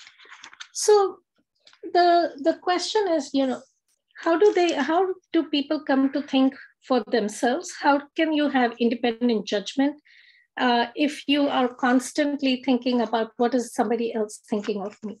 One of the things that I noticed, uh, we have I've mentioned this before. There's a student who's very unhappy at school, and the reason is he's always getting a poll uh, from in the classroom about how he feels. Like it's like eight students in the classroom feel that I'm unhappy, and so I'm unhappy. Eight people or six people think that I should like uh, this activity, and therefore I'm going to do this activity. And it just like makes me think, where does this start? When does it start where you care so much about others that you don't think about yourself? Now, in um, the the uh, uh, other thing that um, talks about is he says, you know, on page uh, six or seven, a stamp of approval, not his own. He can't say about a single thing, this is what I wanted because I wanted it, not because it made my neighbors gape at me. Then he wonders why he's unhappy. Every form of happiness is private. Our greatest moments are personal, self motivated, not to be touched. And I think this is the sacred part about who an individual is and what really gives them joy, what really gives them satisfaction. Um, to seek joy in meeting halls, we haven't even got a word for the quality, I mean, for the self sufficiency of man's spirit. It's difficult to call it selfishness or egotism. The words that have been perverted, they've come to mean Peter Keating. Gail, I think the only cardinal evil on earth is that placing your prime concern within other men. I've always recognized it at once. And it's the only quality I respect in men. I choose my friends by that. And I know what it is a self sufficient ego. Nothing else matters if one doesn't respect oneself, one can have neither love nor respect for others. Um, so, starting with the self, uh, that's one of the uh, things that uh, at our school we talk about respect, and it always starts with themselves. I'll come to that later. And Toohey, uh, we've seen him uh, talk about what he means by uh, his power and the, the idea of collective, collective, collectivism. He says, I inherited the fruit of their efforts. I shall be the one who'll see the great dream made real. I shall see it around me today. I recognize it. I don't like it. I don't expect to like it. Enjoyment is not my destiny. I shall find such satisfaction as my capacity uh, permits, I shall rule. And the thing is, who does he want to rule? He really just wants power for the sake of power. He, he whereas on, you know, Wynand, he at least has a reason for his power. It's not a, it's only a matter of discovering the liver. If you learn how to rule one single man's soul, you can get the rest of mankind. It's the soul, Peter, the soul, not whips or swords or fires or, or guns. That's why the Caesars, Attilas, the Napoleons were fools and did not last. We will. The soul, Peter, is that which can't be ruled. It must be broken. Drive a wedge in, get your fingers on it, and the man is yours. So he goes on to say, not a single one of them has ever achieved it, and not a single man will, will ever. Uh, so he's talking about altruism. And doing things for others. Kill a, kill a man's sense of values, kill his capacity to recognize greatness or achieve it. Great men cannot be ruled. We don't want any great men. men. Don't deny the conception of greatness, destroy it from within. The great is the rare, the difficult, the exceptional. Set up standards of achievement open to all, to the least, to the most inept, and you stop the impetus to effort in all men, great or small you stop all incentive to improvement, to excellence, to, per to perfection. Uh, and he goes on to say, I mean, this uh, entire monologue of uh, Ellsworth Toohey really captures uh, what Ayn Rand's philosophy is about collectivism and how that destroys mankind. Um, happiness is self-contained and self-sufficient. So Howard Roark is talking about happiness that comes from individual action and the joy that it gives. Um, and Ellsworth Toohey recognizes that. He says, don't allow men to be happy. Happiness is self-contained and self-sufficient. Happy men have no time and no use for you. Happy men are free men. So kill their joy in living. Take away from them whatever is dear to them or important to them. Never let them have what they want. I want is no longer a natural right, but a shameful admission. So, one of the things that growing up, um, I grew up in a very religious um, family. And, you know, now that I'm reading the Bhagavad Gita, I can see the principles behind it and the principles about working towards yourself. Uh, but when it is all kind of uh, packaged in uh, religious, um, I would say, religious traditions or um, dogmatic uh, practices, then it is just follow blindly and do things so that you are. And then there is no I want, there's no I would like to do it differently or questioning anyone. Uh, so she's really captured that very well in here, where she says, You don't have to be clear about it either. The field's inexhaustible instinct, feelings, revelation, divine intuition, dialectic materialism. If you get caught at some point and somebody tells you that your doctrine doesn't make sense, you're ready for them. You tell him that there must there's something above sense. There, that here he must not try to think, he must feel, he must believe. Suspend reason and you play it. Again uh, anything goes in that any manner you wish whenever you need it. You've got him. Can you rule a thinking man? We don't want thinking men this is the world i want a world of obedience and of unity a world where the thought of each man will not be his own but an attempt to guess the thought of the brain of his neighbor who will have no thought of his own but an attempt to guess the thought of the next neighbor who will have no thought, and so on, all around the globe, since all must agree with all. So here, here are the two contrasting ideas where a man can think for himself and can create, and the other where people cannot think for themselves, humans cannot think for themselves, and so they are just following each other, and what a mediocre world. I think in Atlas Shrugged, she really takes this idea further. And uh, the, the blasting of the Cortlandt uh, housing, like I, I've always wondered how, what makes Roark be so violent and kind of blast the, the housing complex. Um, and something that I feel is, you know, that was his creation, uh, which earlier in the um, book, we read about what Roark's idea about integrity are, that the building that an architect creates also reflects his own integrity. And now that his plans were uh, changed and uh, botched by all these other architects adding on their um, ideas, not staying true to the thought that he had created.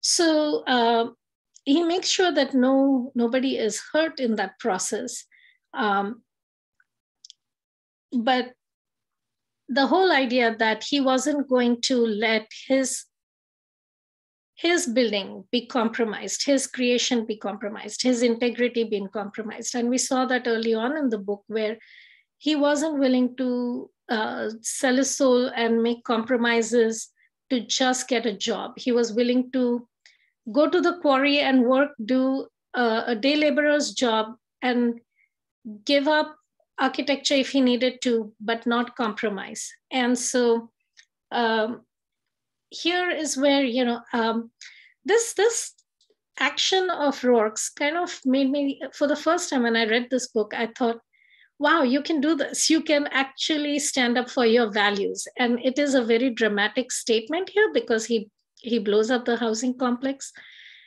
Um, whereas, you know, uh, growing up in India, everybody does what, what's right in the society. You follow what the traditions are. You kind of stick, you know, what will others think? What will others say? Um, but this was an instance where no, you can stand up for yourself in this world, here and now. You can take action for yourself, and that's okay. I think that was what came um, became very clear to me um, as a, a young uh, adult when I first read the book. And then, uh, of course, you know, Atlas Shrugged, I think, just takes it further where uh, the creators then leave the world at, uh, to the second handers. And we've seen this happen in parts of the world where, uh, in Africa, um, where uh, when uh, Idi Amin took over and all the creators were asked to leave the country or were banished and or you know had to flee, um, and their factories and organizations were taken over by incompetent people and then they just ran the country uh, down. So you know these are real examples that when second handers take over they really cannot build anything they can only destroy. So i want to share my screen here. Um, maritza can you give me permission to? Okay yeah i think i can share screen So I want to um, just talk about values. And um, I know that um, Sherri mentioned about, you know, how Montessori, uh, and, and while I was reading this section, it actually just became very apparent to me that it is so important for children to develop these values. And uh, Sherri, you talked about when you had your children what values you wanted and what you really didn't want to happen. Like you didn't want certain elements, certain ideas. Last uh, week when we spoke, Iris talked about her parent, uh, her parents, and I just wrote that as a 12 pointer guide for good parenting skills. So, uh, what, what do you really want for your children? And you want them to grow up as moral citizens. You want them to grow up with the idea that they have the power within them to create the world they want. And so every year at the beginning of our school year, our students make the rules for the classroom. And those are the rules that they live by. It becomes the class constitution and it becomes a living document for them to live by. So why do we do this? Why do we have core values? And Tony is here. Uh, he used to run his um, studio uh, for martial arts, and he had six core values. And every time my son went in, the first thing they would do is get on the mat, say the core values, bow, and then start. And they would end the session with core values. And it may seem like a dogmatic practice, um, similar to a prayer or religion, but I feel where uh, my husband and I weren't very religious uh, and didn't want religion to be the focus for us and values made a big difference. That how do you have individual values and how do you stick to those values? So um, we have six core values at the school. Be respectful. Just like you know respect yourself first before you can respect others. Uh, seek truth. Use your own judgment to come up with your own opinions. Do not let others dictate to you what those opinions are. Don't just follow a mob because they're saying. Um, so look at the facts.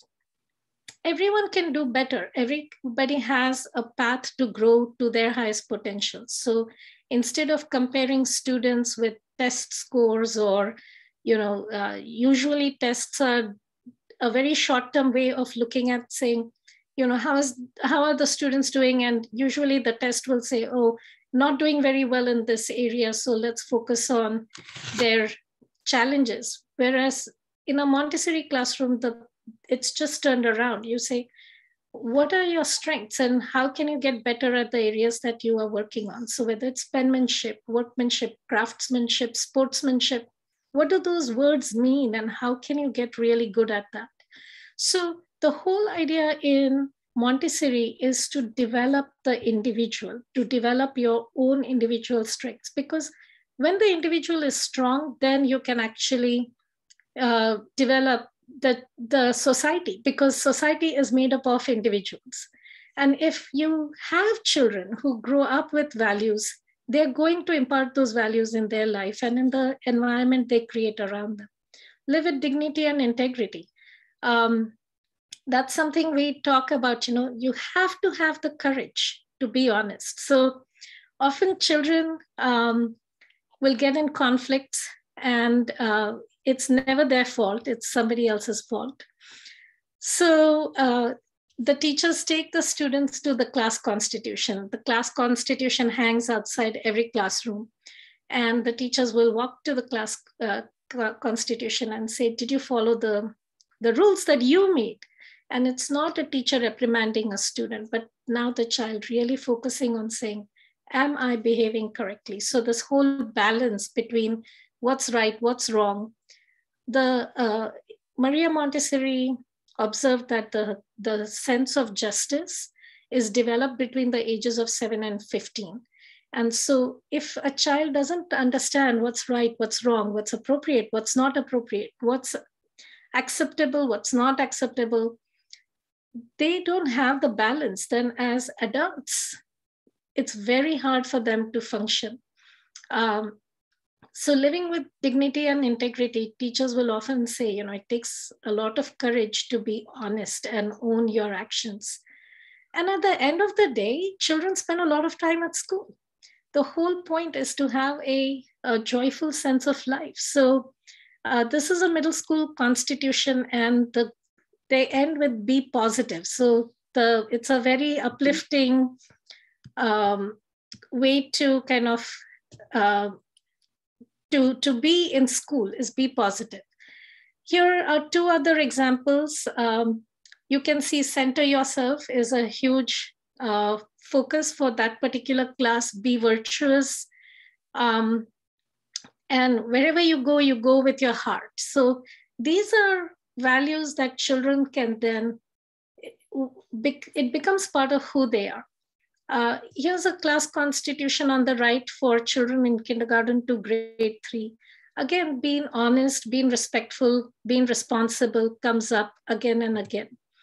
Uh, here is a class constitution that uh, the upper elementary students have. And so it's a long piece. I've divided it into uh, three pictures. Uh, they took the preamble from the Constitution. Uh, every year they do study the, preamble, the, the Constitution of the United States and why it was written. Uh, so it says, we the people of Poseidon Room, in order to form a more perfect learning environment, secure equality and together strive for excellence, agreed to uphold this constitution for the upper elementary room. And so they go on to say, adopt a growth mindset, use your opportunities judiciously, Consider the ideas from others. Talk softly so as not to disturb others. Treat others the way you want to be treated. Center yourself. Envision your surroundings. Care for yourself and the environment. Ask if your friend, ask a friend if your glue doesn't stick. So if they're having a problem, have candy, just, you know, and have a joyful sense of life. I, I just love that. Have a joyful sense of life because I think that there is so much going on around the world that if if you know if you help um, students help children have that sense from their childhood basically they have it in them. Every child has it in them. But it's all these external things that we add on to children that make it make them miserable or kind of make them feel that they're not uh, able to do things or not able to achieve their goals. But just giving them the opportunity uh, can help them see that somebody like Howard Roark is possible, so that you can make a difference in today's world. Uh, so that's my uh, take on Montessori and Ayn Rand and uh, Fountainhead. So I think it all kind of comes together in there. And then the last thing I wanted to just share is um, the unions. Wynand had never given a thought to the union. Dominique had tried to warn him once. Gail, if people want to organize for wages, hours, or practical demands, it's their proper right. But when there's no tangible purpose, you'd better watch closely. We knew, uh, so then there is the strike.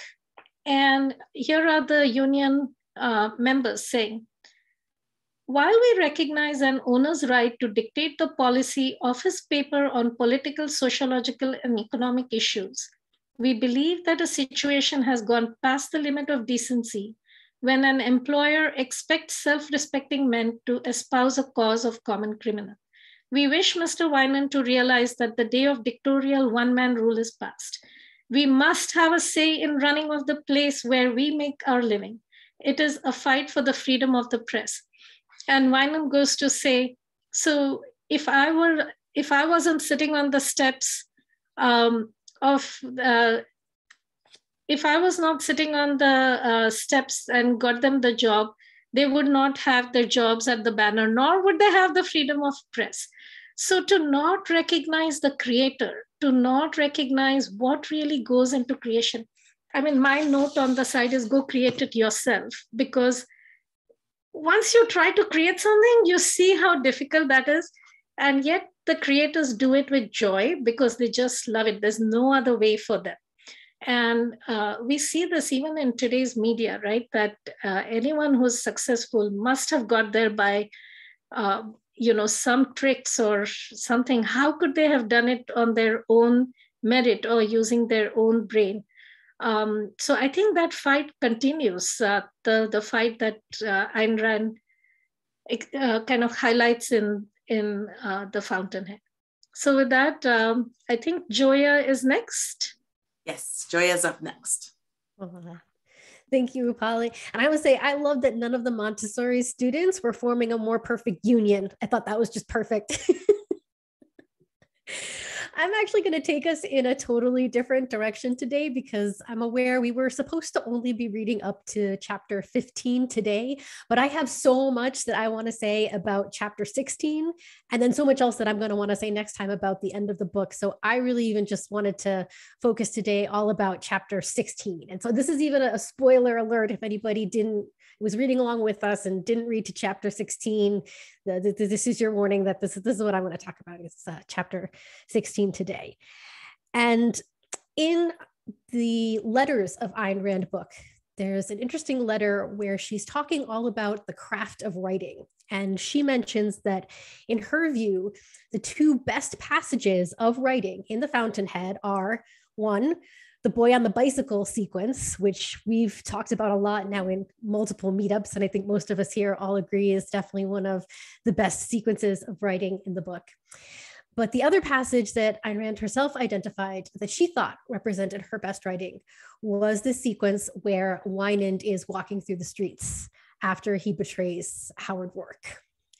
And so I, I really want to focus uh, a lot on that. But I want to take us even to the very beginning how chapter 16 starts off. And some of the other commentators have been uh, making the point that the book in many ways sometimes almost reads like a movie and this is a sequence where i i get that cinematic sense because when we ended chapter 15 we've ended where uh, you know, Wynand has been putting all of this Roark into trying to keep the banner alive. You know, it's been taking everything out of him. He's gone to see work, and even that's just like put him on a high. Dominique, you know, as people pointing out, says that he looks lighter. He comes back. He's got all of this energy to keep up with the fight, to keep up with the crusade. And uh, chapter 15 ends by telling us that the days past, days of heroic effort, put to put out a newspaper that came back unbought and unread and then we're going to, there's like a cut in the movie, and we're going to cut to chapter 16. And when chapter 16 starts out, we are in the board room of the Wynand Papers. And eh, you know we, we first see the other characters the, the other members of the board they're kind of talking about you know what's going on with the paper and how they're not going to be able to survive with everything that's going on and uh, before Wynand even speaks, we start to get insight into um, what he's thinking. Um, so, so, so, you know, first we just kind of we see him there. You know, Wynand stood by his chair at the head of the table. He looked like a drawing from a men's magazine, fastidiously groomed, a white handkerchief in the breast pocket of his dark suit. And even as he's standing there, we get Wynand thought of a crumbling wall on the edge of the Hudson. He heard steps approaching blocks away, Only this time, there were no wires in his hand to hold his muscles ready. And as they're talking more, we get more of Wynand's thoughts. Wynand starts thinking, um, well, so so one of them says to Wynand, like, Wynand, you ain't what you used to be. And then Wynand thinks, I never used to be. I've never been here. Why are you afraid to look at me? Don't you know that I'm the least among you? The half naked women in the Sunday supplement, the babies in the rotogravure. I don't even know what that word is. Maybe Robert Sherri will, uh, with all of their knowledge of the culture of the 20s, will uh, give us some insight into, I'm probably not even pronouncing that word right, but something from the old press, obviously. Um, the editorials on park squirrels, they were your souls given expression, the straight stuff of your souls, but where was mine? And then he goes on to think, I know you. You're the one who'd give money to a pregnant slut, but not to a starving genius. I've seen your face before. I picked you and I brought you in. When in doubt about your work, remember that man's face. You're writing for him. But Mr. Wynand, when I can't remember his face, one can, child, one can. It will come back to remind you. It will come back and demand payment, and I'll pay. I signed a blank check long ago, and now it's presented for collection. But a blank check is always made out to the sum of everything you've got. So we see that between the cut at the end of chapter 15 and the start of chapter 16 that Wynand has had this realization that we all knew he was going to have. You know, we we've kind of seen the background and from what's been happening in the story, um, from what Roark has suggested that you know Wynand, as he put it, was this this character who was not born to be a second-hander, but that going after power was the worst form of second-handedness. But when we jump into chapter 16, Wynand has had that realization, but we don't ever get like that there's never that light bulb moment. There's never that scene of recognition. We never see him suddenly have this realization about himself and his past. There, there's like almost this, this dramatic cut between how we were at the end of chapter 15 and then we're going to jump into chapter 16 where he's going to have this this grand realization. And i think it's a really profound point even about Ayn Rand's writing because we know as much as she is the champion of reason of the men of the mind that her whole point is that thinking is for the purpose of action. So she's never going to give us a scene in her novels where there's just some sort of thought without action. And it's not just, and it's her literary style, but it's her literary style because it's her philosophical premises that the whole point of thinking is to act. So what she's going to show us in the book is the dramatic sequence. So, you know, in a sense, you know, what she's really going to show us is what's going to happen here toward the, the end of this section of the boardroom, where Wynand is going to have to make this dramatic decision you know, is he going to continue the crusade for Howard Roark, or is he going to give in in order to save the banner? That's the moment we're going to see, that key moment of action. That's what she's going to dramatize for us. And it, we see how she even builds up to the scene with everybody there in the boardroom, you know, kind of pointing out that, you know, the banner can't go on like this. They're saying, you know, you can't keep this up. Even if you bought us all out, give in or close the banner. You had better give in. Wynand heard that. He heard it through all the speeches. He had heard it for days before the meeting. He knew it better than any man present. Close the banner. He saw a picture, the masthead rising over the door of the Gazette. You had better give in. He made a step back. It was not a wall behind him, it was only the side of his chair. He thought of the moment in his bedroom when he had almost pulled a trigger. He knew he was pulling it now. All right, he said. That's the scene she's giving us, that dramatic moment where it's either the banner or the crusade. It's, it's either this thing that he's built that is you know decrepit and goes against his values or the purity of his own soul. And he's going to have that realization. There's one point where Ayn Rand in talking about writing always says that um, and she quotes a, a, famous playwright who always says um, you know you never introduce a gun in a scene unless you're going to pull it in the final sequence. And she, we see that she kind of gives us our own uh, version of that that she introduced an actual physical gun when we first uh, had the first sequence of Wynand in the beginning of the section that bears his name and he doesn't pull a literal gun, but he perhaps pulls a more important gun. He's going to commit spiritual suicide here in this moment and, and pull the gun on his soul. And then we get into the this long walk, Wynand's walk after the betrayal. And again, I think it's significant that we're seeing that he's going to have this really dramatic moment that happens internally, but she's got to show it to us in action. And you all know me, I'm going to want to read this whole sequence to you, which I'm not going to put you all through, but I, I do at least want to read parts of this for you and definitely want to start off even with the beginning. I think it's it's really beautiful and insightful the way that she starts off this walk. It starts with it's only a bottle cap thought Wynand, looking down at a speck of glitter under his feet. A bottle cap ground into the pavement. The pavements of New York are full of things like that bottle caps, safety pins, campaign buttons, sink chains, sometimes lost jewels. It's all alike now, flattened, ground in. It makes the pavements sparkle at night. The fertilizer of a city. Someone drank the bottle empty and threw the cap away. How many cars have passed over it? Could one retrieve it now? Could one kneel and dig with bare hands and tear it out again? I had no right to hope for escape. I had no right to kneel and seek redemption.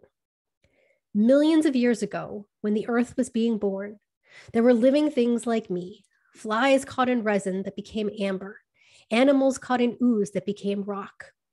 I am a man of the 20th century, and I became a bit of tin in the pavements for the trucks of New York to roll over.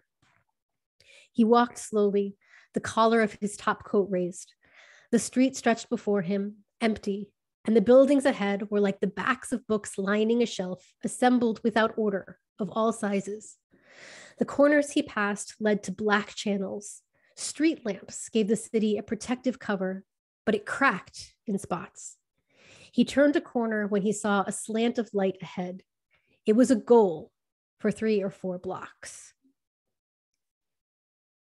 To me, this is just even so emotionally evocative of the experience of dealing with the kind of internal experience that Wynand must be facing in this moment it, it always makes me remember I, I had an experience once where I almost fainted. I, I almost blacked out. And I was I was in the bathroom and there, there was that moment when like I knew I couldn't stand anymore and it was like my whole conscious like it's like all i could be aware of was just that like i knew i had to like sit down. And it was like all i could see was like this like wall in the bathroom where i knew i could just sit and like lean against the wall so that i wasn't gonna fall. And and remembering that experience of when we are in crisis mode that this is what happens that you know our our ability to focus what we can take in with our consciousness narrows and I think this is so profoundly dramatized in this sequence that you know there's so much on his mind. His whole past is coming now you know to claim for payment. But it starts with he can only just focus on that one tiny little bottle cap.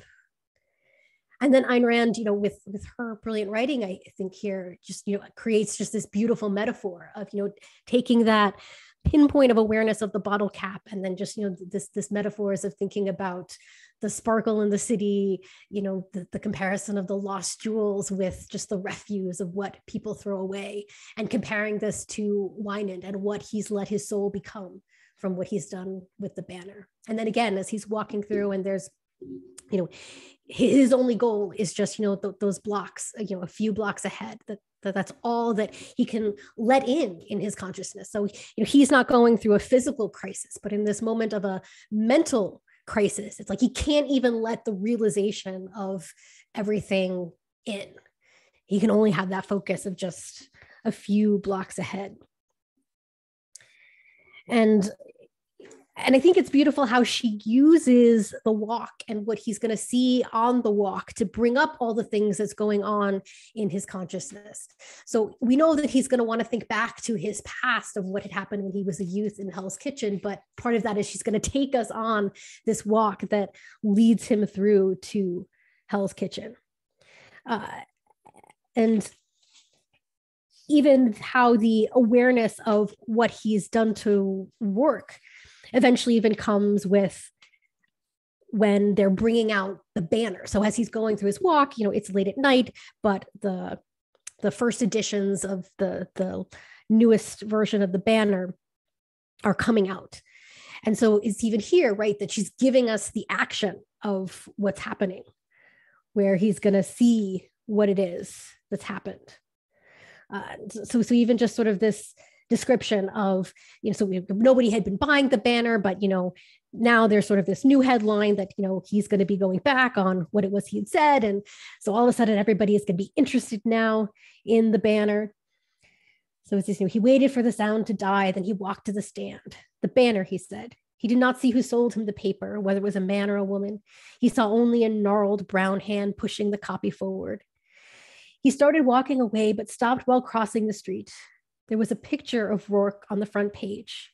It was a good picture the calm face, the sharp cheekbones, the implacable mouth. He read the editorial leaning against a pillar of the elevated subway. And then again, you know, we're, we're going to see through the action what it is that everyone says about that. You know, and then it just sort of ends with, um, you know, if found guilty, it seems inevitable. Howard Roark must be made to bear the full penalty the law can impose on him. It was signed Gail Wynand. And then we see how he's going to respond to it. You know, when he looked up, he was in a brightly lighted street on a trim sidewalk, looking at a wax figure exquisitely contorted on a satin chaise lounge in a shop window. The figure wore a salmon colored negligee and now I'm wondering if that even has to do with uh, Sherri's observation about people wearing coral. Uh, salmon also, that, the same kind of uh, shade of orange with a little touch of pink. Right? Salmon colored negligee, lucite sandals, and a string of pearls suspended from one raised finger. He did not know when he had dropped the paper. It was not in his hands any longer. He glanced back. It would be impossible to find a discarded paper lying on some street. He did not know he had passed. He thought, what for? There are other papers like it. The city is full of them. And that's like he hears in his mind Howard Roark saying, You have been the one encounter of my life that can never be repeated. And in his own mind, he's responding, Howard, I wrote that editorial 40 years ago. I wrote it one night when I was 16 and stood on the roof of a tenement. And this is when he gets to Hell's Kitchen and he realizes that he never got out of Hell's Kitchen. He said, I never got out. I surrendered to the grocery man, to the deck hands on the ferry boat, to the owner of the pool room. You don't run things around here. You don't run things around here.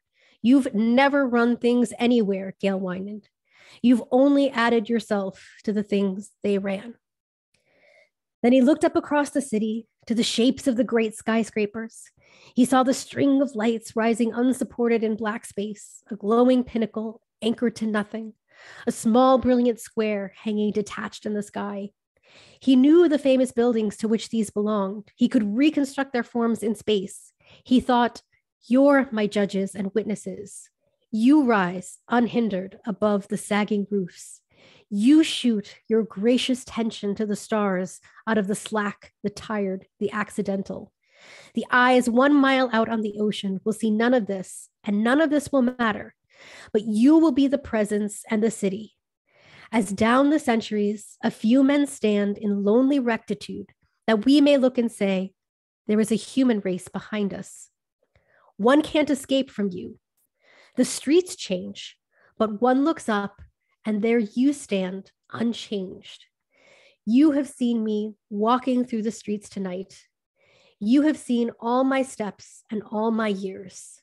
It's you that I have betrayed, for I was born to be one of you. There's a little bit more, but I just even want to end with that, reading that with just that image of, you know, he's betrayed Roark, but he's really betrayed his own soul. But he sees that reflected in the grandeur of the skyscrapers, in their unchanging eternal quality that that stands as you know this is what is possible. This is what the human race can do. This is the proof the physical living proof that there is as he says a human race behind us. And this gets into the other um, part about this climax that i really want to talk about which is the character of gail wynand to me, Gail Wynand is one of the most interesting characters in all of Ayn Rand's novels because he represents a way in which Ayn Rand herself changed. So if you've been on any of these other meetups, you know this is something that I, have talked about a lot. Um, Ayn Rand and her view, her view that she had of herself.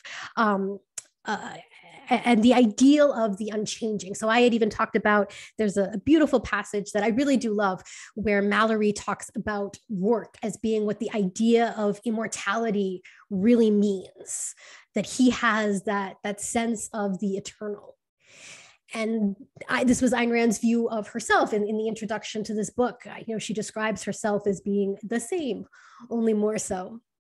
And I'm going to say that it starts to frustrate me that she doesn't recognize so much the ways that she changes. But before I get to that, I do want to say I think there really is something profound about this point that really gets to uh, the heart of, of Ayn Rand's real discoveries about what is virtuous in human character what we're seeing in this book, which is all about the glory of integrity and what it is to be principled, and that this is what principles give us. It gives us the opportunity to be like the skyscrapers that don't change because that principle stays the same.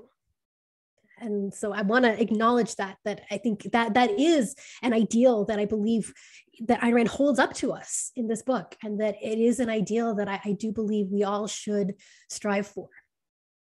But i also do believe that we also change and Ayn Rand doesn't recognize so much when she makes changes. But Gail Wynand is this fascinating character, I believe, because he represents an important way that Ayn Rand herself changed in her views and displays it in this incredibly dramatic form. So I think we know, and maybe even Rob had mentioned um, in, in some of the earlier meetups, I know he was talking at one point about the early Ayn Rand. So in her own view, um, you know she recognized that uh, before she wrote the fountainhead that she wasn't that she felt you know in, in, her earlier works that she wasn't yet able to capture the ideal man that this had been her goal you know from when she had decided that she was going to be a fiction writer at the age of nine that the goal of her writing was always to project the ideal man uh, but that before she actually wrote the fountainhead she didn't quite feel that she was capable of, of doing that yet but it's interesting that she as much as she admits that she never really talks about you know what was perhaps like what changed like what what suddenly made her able to write the fountainhead um, you know and what were perhaps any interesting distinctions between the early Ayn Rand and what she finally gets to in her mature novels. But one of the things that I think is fascinating that I see as a very distinct difference between the early Ayn Rand and what she creates here in her later writing is this view of what is the ideal man's relationship to power. I think you can see this. So Rob talked about Anthem. So I want to talk about some of her other earlier work. So first I want to talk a little bit about Night of January the 16th, which was a play that she wrote and had produced uh, on Broadway uh, shortly before working on this book. And so this was an example, that might have even been the, the very specific work where she mentioned explicitly that uh, she could write about a woman's feeling toward the ideal man, but didn't yet feel herself capable of writing the ideal man. And it's interesting what happens in the plot. So I am not going to spoil the story for you by telling you that this story starts with the hero of the book, whose name is Bjorn Faulkner, is dead. The story is a trial where his mistress and his wife um, are, are you know sort of sort of on trial and we're trying to find out what happened to Bjorn Faulkner and he's supposed to be the ideal but he never appears in in the play in the story. And it's almost i think significant that you know she wasn't yet ready to write the ideal man and the ideal man never yet appears in the story. But when we even get glimmers of who is bjorn faulkner i would argue that he is much more of a wynand than a roark from our descriptions of him, he was very similar to a Wynand who, like Wynand, his virtue is that he never sought an outside sanction. He had that creative energy and that will to, you know, seek out and, and you know, change the world, that ability to not be a second-hander. But what we see that he's done uh, throughout the story is he's uh, this um, financier who swindles a lot of people. Uh, he has this one catchphrase line where he says that um, the only two enjoyable things that he found on earth was his whip over the world and his mistress, Karen Andre. Even that line, you know, the whip over the world sounds like a perfect description of Gail Wynand and we see some of this also in, in some of our other um, Ayn Rand's earlier works. And I wanted to even talk a little bit about We the Living. So uh, Rob had even mentioned We the Living um, earlier today, kind of talking about how this was, you know, Ayn Rand's work that she wrote about her experiences uh, growing up as a young person in her 20s in Soviet Russia. At one point, she even said that this was the most autobiographical book she had ever or would ever write. That the main character, Kira, that the events of the novel, what happens to Kira, was not what happened to her, but that the character of Kira, her thoughts, her ideas, her values, her ideals, they were all Ayn Rand. But something interesting happened with the publication of this book. So it initially came out in 1936. And decades later, after uh, and, and so and the book didn't didn't do very well um, you know and the, i think even just sort of stopped being published early on. But then you know Ayn Rand wrote The Fountainhead and she wrote Atlas Shrugged. And so then in 1959 they came out with a new version of We the Living. And I, Ayn Rand took that opportunity to make some changes to the copy of We the Living and in the introduction to the book, she she describes in her own words the kinds of changes that she believes she made to the book. So um, so she says in this introduction here, she says, I want to account for the editorial changes which I made in the text of this novel for its present reissue. The chief inadequacy of my literary means was grammatical, a particular kind of uncertainty in the use of the English language, which reflected the transitional state of a mind thinking no longer in Russian, but not yet fully in English. I have changed only the most awkward or confusing lapses of this kind. I have reworded the sentences and clarified their meaning without changing their content.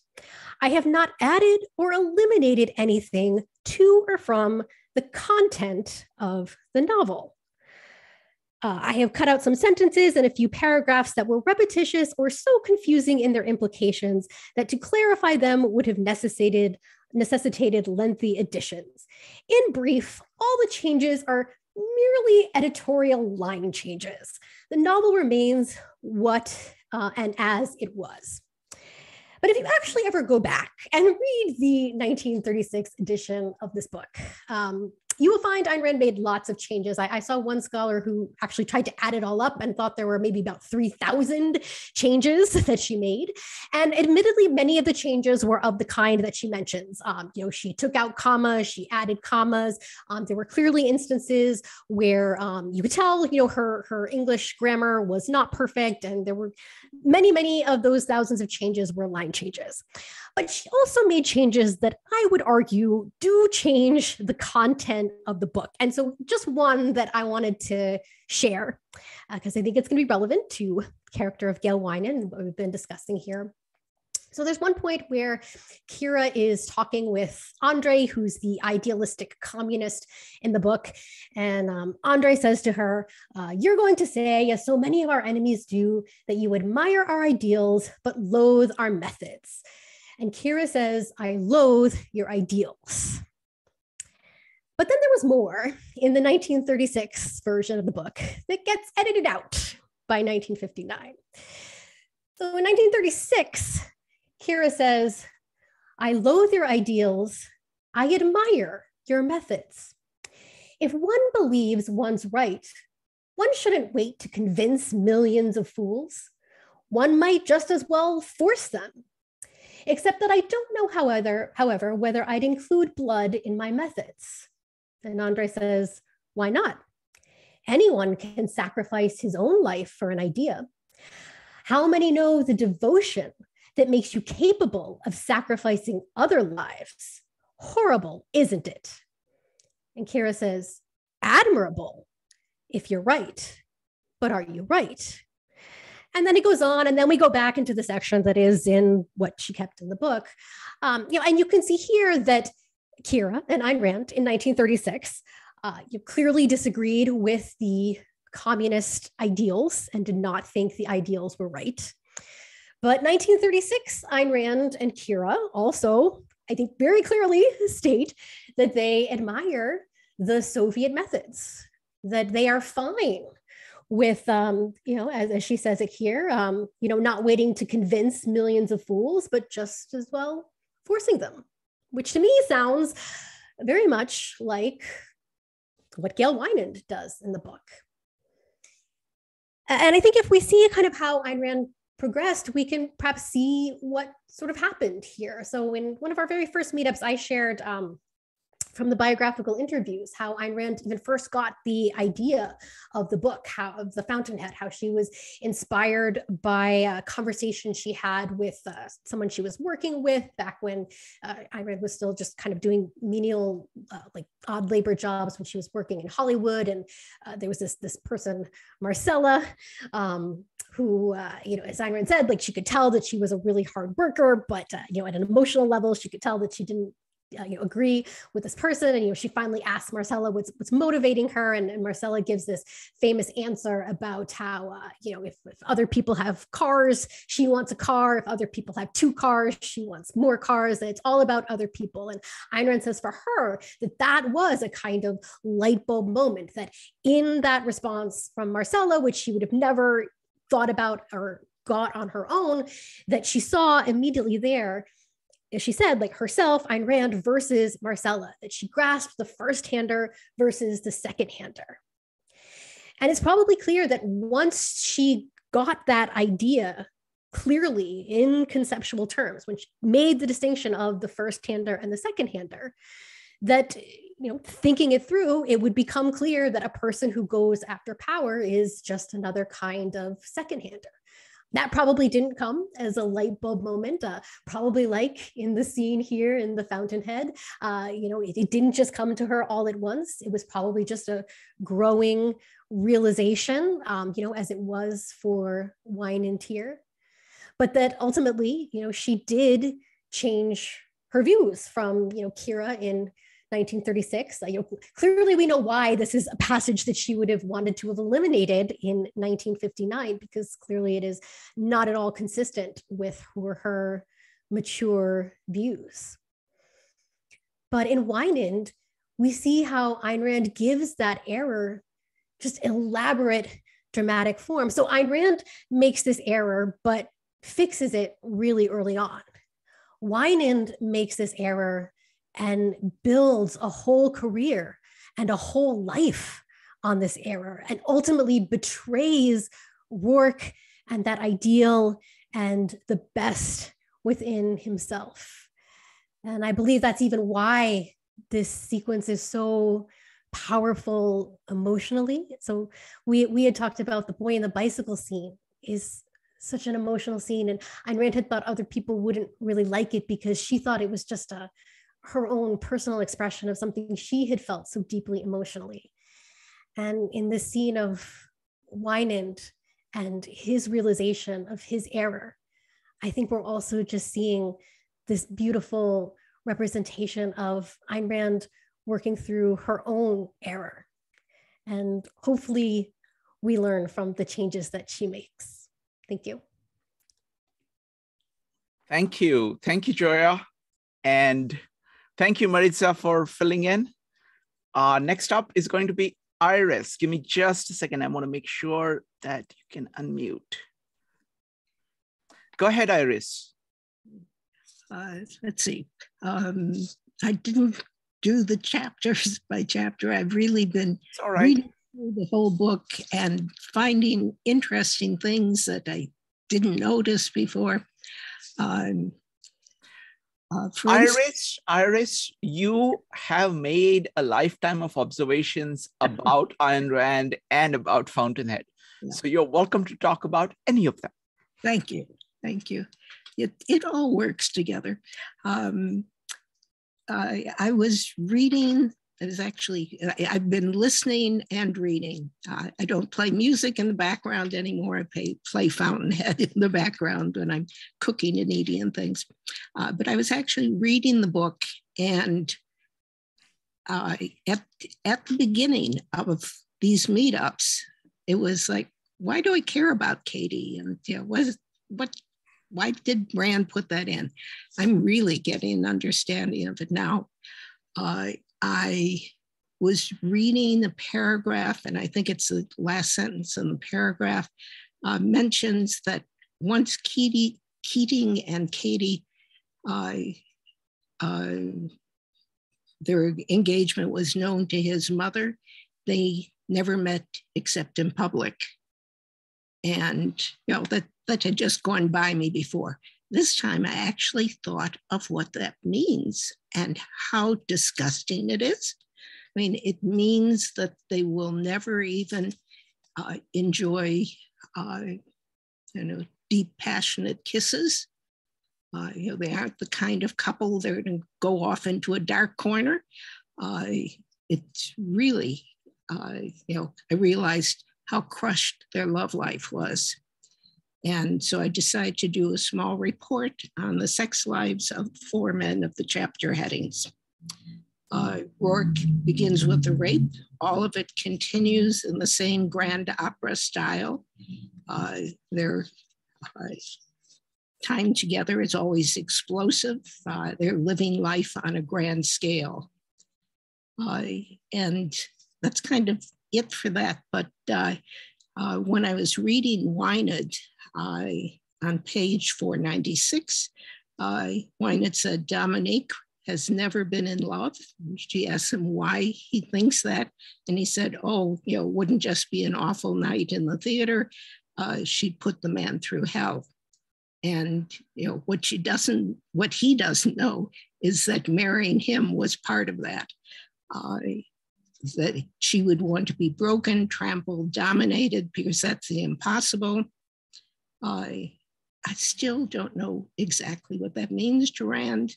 I, it may explain the torture she put Roark through leading to the rape, or perhaps it's the two marriages. I will explain how I'm going to find out about that later. Okay, go on to Keating. Uh, Keating at one point knows he could have Katie. What a disgusting way to think of sharing lovemaking with a woman who he keeps saying he loves. Uh, he is so stunted, he has no idea how to enjoy any part of his life. And then uh, there's something for some reason in listening to it, I've heard like 20 times. Uh, when they go out to walk together, uh, he takes her hand, and she is the one who takes her glove off. So they can be skin to skin. And that really is part of his crippled soul is that he doesn't even think about touching her hand rather than just the glove. Okay, Toohey, very simple. To him, sex is unimportant. He's same in the drawing room, the lecture platform, or during sexual intercourse. He wants people to get rid of an exaggerated reference, reference, reverence for the sexual act. He makes fun of the way men think about sexual love. Wynand, before Dominique, he was interested only in power. His mistresses were all women he bought, and they were only women who couldn't be bought. And then his glass walled bedroom, he thinks and talks about uh, fornicating in the sight of six million people. So that's you know, just pulling out just those parts of them. Okay, back to my parents. Uh, a few more things that I remembered uh, that, again, they put into words and into action. Uh, it was very important to them that we could go after anything that appealed to us. Uh, they were not typical for their time. My mother was a tomboy. Uh, my father liked poetry. You know, they, they didn't, didn't fit into the very small boxes of the time. Uh, one of the things they were very concerned about uh, when children, and particularly before they can reason, uh, every time they do something wrong, people scream no at them and they stop, but you know, they don't know what they did wrong or why they shouldn't do it again. And uh, so they decided that we were not to hear no at a point at which it meant nothing to us. And actually, you know, once once a child can reason, you don't just say no, you reason with, with them. And all of their relatives and friends were told if they wanted to see us, that they had to learn not to say no all the time. And uh, it was amazing. I mean, they've really got people to do that. Uh, grandparents, uncles, you know, miscellaneous friends. And so there these were people who were saying no every three seconds to their kids, but never said it to us. So just fascinating things happen. Uh, also important to them was that we were never to be compared to anyone. And again, this is something that all the relatives had to agree to. And so much of the way people talk about children is comparisons. Oh, yeah, your great uncle, you know, liked this thing you liked, or your parents are like that, and that's why you are. Uh, we were never compared to anyone. And my mother's example was that a two-year-old girl should not be told that she looks like her her grandfather who has a mustache. You know, what what's a kid going to do with that? Uh, we were never to be told that we were good at something because some relative was good at that thing. Uh, it was all about being treated as individuals, which nobody else was doing. Uh, when we got near college age, uh, we had moved while I was in high school, yeah, still in high school, uh, that, uh, no, I'm sorry, we moved while I was still in grammar school, but we moved from uh, lower, lower middle class to upper middle class. Uh, it was Ashkenazi Jewish neighborhood. Everybody went to college. And this is a period when people were not going to college.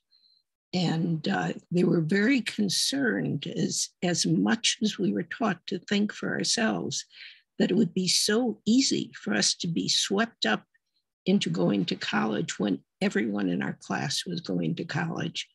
And they tried to figure out, yeah, what, what could they do to make us really stop and think about it?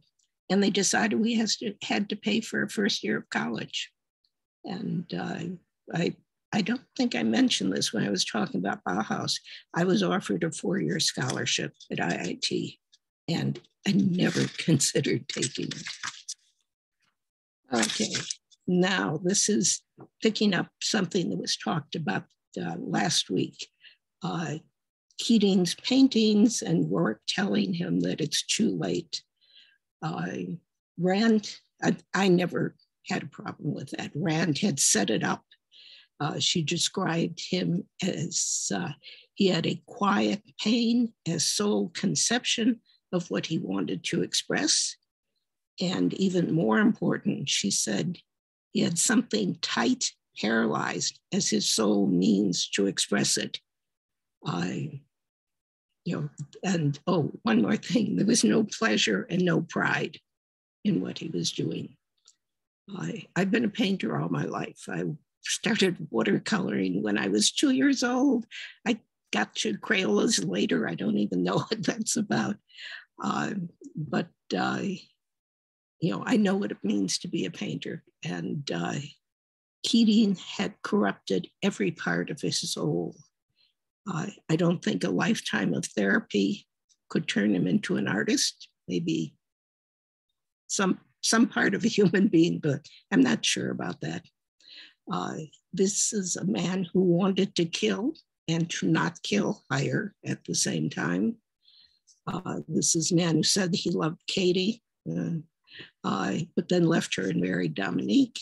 He hated Roark, wanted to see him destroyed. and again, uh, Rand's words, uh, when Dominique is telling Roark that she's married to Keating, she explains she picked him rather than, quote, some half decent human being. So he's he's less than that. Uh, I, must defend. uh, Keating is nothing like Frank O'Connor, uh, Rand's husband, who became an artist later in life. Uh, I don't don't think it had becoming an artist later in life. I don't think is an issue at all. Uh, there are two major parts to being an artist. One is technique, and the other is subject choices. Uh, anyone of average intelligence can be taught to be a photorealist painter, which is what Dali was. Most people don't know that and wouldn't do it if they, you know, if they knew it takes an enormous amount of effort and time, but uh, you know anyone can learn technique. I I once saw a class, these were people who were going to be kindergarten teachers, and they had all been taught how to paint a saltine cracker. So it looked so realistic that you felt you could take it off the, uh, the canvas. Uh, and it's just, it's, it's easy to develop skill. Uh, but uh, subject choice is a matter of soul, uh, how you see the world and how you see yourself. Uh, if he cared to or could paint some of the greatest works imaginable, just you know that that is his mind. Um, age has nothing to do with technique and or subject choice. And I had some fun thinking about you know diff- different people. If at age 80 Mike decided he wanted to become a painter, I would love to see what he would create. And I imagined him doing dramatic portraits of earth moving equipment. Okay, I think this may be the last part. Um, it was suggested we pick a favorite quote, uh, which I'll do later. It's, I want to pull things out of Monadnock Valley, but there's no one sentence there. It's all very scattered. But I do have a favorite page, and I've been thinking about a lot. It's page 582. It is beautiful, pathetic, and funny. Uh, every time I read it, it makes me laugh. Uh, just thinking about it will get me laughing. Uh, it is just so, so much of two opposite pieces uh, Roark is bubbling over with a joy he can barely contain. Uh, and then this whole thing of joy, Wynand had described uh, all of Roark's buildings as having a quality of a sense of joy, not placid. Iris, Iris yes. now I'm very curious about the page. Uh, would you like to read it or would, would you like uh, no, Joia to read it? No, it's going to come in here. I'm going to do, do the parts account. Wonderful. I, uh, anyway, uh, Roark, Wynand had said the buildings had a quality, a sense of joy, not placid, but difficult, demanding joy, an achievement to experience it. I don't remember seeing that anyone else using joy to describe his buildings. Uh, okay, three pages earlier, we he and Keating agree that Roark will design Cortlandt. Two pages earlier, they signed the contract. One page earlier, Roark, is laughing, and it's the happiest laugh Keating has ever heard. Uh, a little further down on that same page, Keating realized, I think this is really crucial to what has me laughing. Keating realized he had never believed any living being could be glad of the gifts, gift of existence, and Roark is. And so he's, there's a way in which he's aware of how crippled he is, just seeing Roark enjoying his life. So uh, at this point, it's all settled. Roark points out the window. This is what's on this page. Roark points out his window and says, when it's done, I'll be able to see it, meaning Cortlandt, uh, from my window, and it will be part of the city. Peter, have, have I ever told you how much I love the city? Now that is so beautiful. I mean, that that is what work is about. The giving someone else this thing that he loves. He's going to describe how much he loves the city. And it is the last thing that Keating wants to hear. I, there is nothing in Keating's existence that he loves, which is another reason why he can't be a painter. You know, when when I paint, it's like what's the most wonderful thing in the world? What's the most beautiful thing in the world? You know, that, that's where I start. Uh, he has nothing. And the contrast between Roark, who's just floating, I mean, he's, he is the happiest we've ever seen him.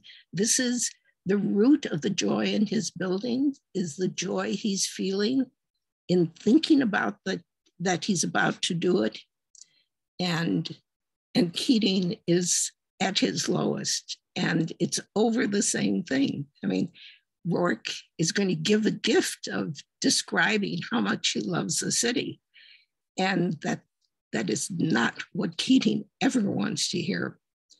Uh, Keating finishes his drink, and I've been listening to the Christopher Hurt version, which you can listen to free online. And uh, he does a wonderful pause in answer to, you know, have I told you how much I love this city? And uh, Keating's answer is, I think I'd rather go now, which is, yeah, I don't, I don't want to even be in the room with you. You know, anyone who's thinking that way, you know, uh, I, I wrote here, it's an understatement. Uh, then there's a pause, and that is when Keating does stay and show his paintings. It's just an amazing page, you know, so much in it.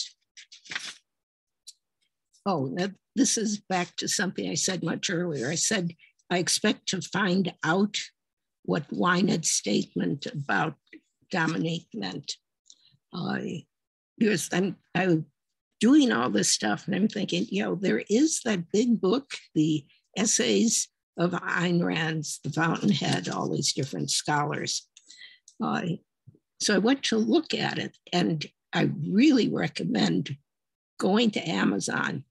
Uh, the first essay in the book is Shoshana Milgram, and it's called The Fountainhead From Notebook to Novel The Composition of Ayn Rand's First Ideal Man.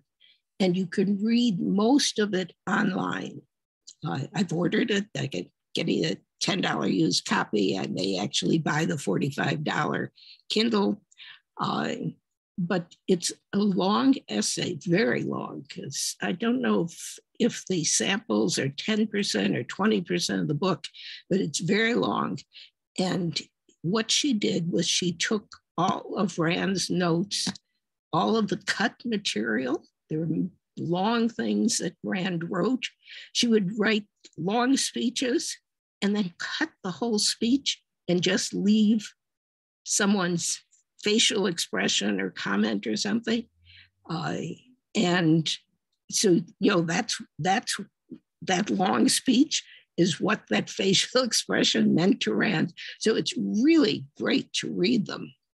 And uh, um, anyway, I, I had no idea that the, so much of this material was there. And uh, uh, Shoshana and I email each other all the time. And uh, you know, I told her that it seemed like a life work to me. She had taken each one of these things that she found and explained how how it fit into what actually went in print in the end. And uh, she, by the way, she mentioned to me a new book has just been found with Rand's notes in it. She hasn't seen it yet, so I don't know how much is in it. And, you know, it might be another month of her life, or it might be a year, who knows.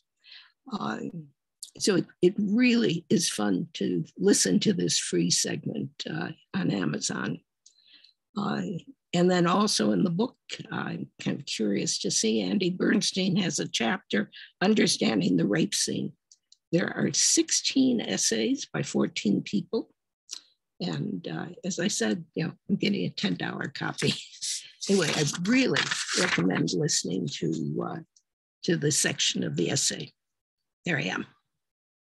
Wonderful. Thank you. Thank you, Iris.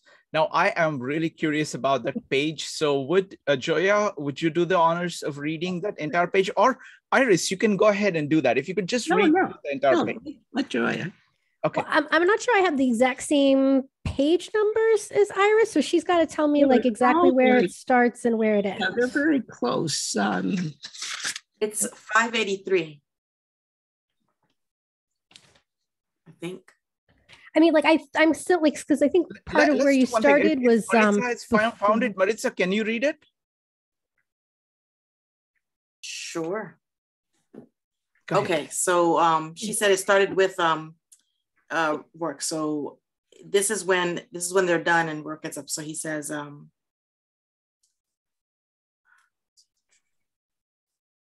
maybe the concepts don't make sense. Maybe they don't mean what people. Wait, that's not the beginning. I, I apologize. yeah, Um, no, when, it- when, when it's done, that paragraph or or it is. So I should start with that paragraph? Okay, so maybe the concepts don't make sense. Maybe they don't mean what people have been taught to think they mean. But let's drop that now. If you've got to talk of something, let's talk of what we're going to do. He leaned out to look through the open window. It will stand down there. That dark stretch, that's the site of Cortlandt. When it's done, I'll be able to see it from my window. Then it will be part of the city. Peter, have I ever told you how much I love this city? Keating swallowed the rest of the liquid in his glass. I think I'd rather go now, Howard. I'm no good tonight. I'll call you in a few days. We'd better meet here. Don't come to my office. You don't want to be seen there, someone might guess. By the way, later, when my sketches are done, you'll have to copy them yourself in your own manner. Some people would rec- recognize my way of drawing. Yes, all right. Keating rose and stood looking uncertainly at his briefcase for a moment, then picked it up. He mumbled some vague words of parting, took his hat. He walked to the door, then stopped and looked down at his briefcase. Howard, I brought something I wanted to show you. He walked back into the room and put the briefcase on the table. I haven't shown it to anyone. His fingers fumbled, opening the straps. Not to Mother or Ellsworth Toohey. I just want you to tell me if there's any. He handed to Roark six of his canvases. And that's the Oh. that's the section.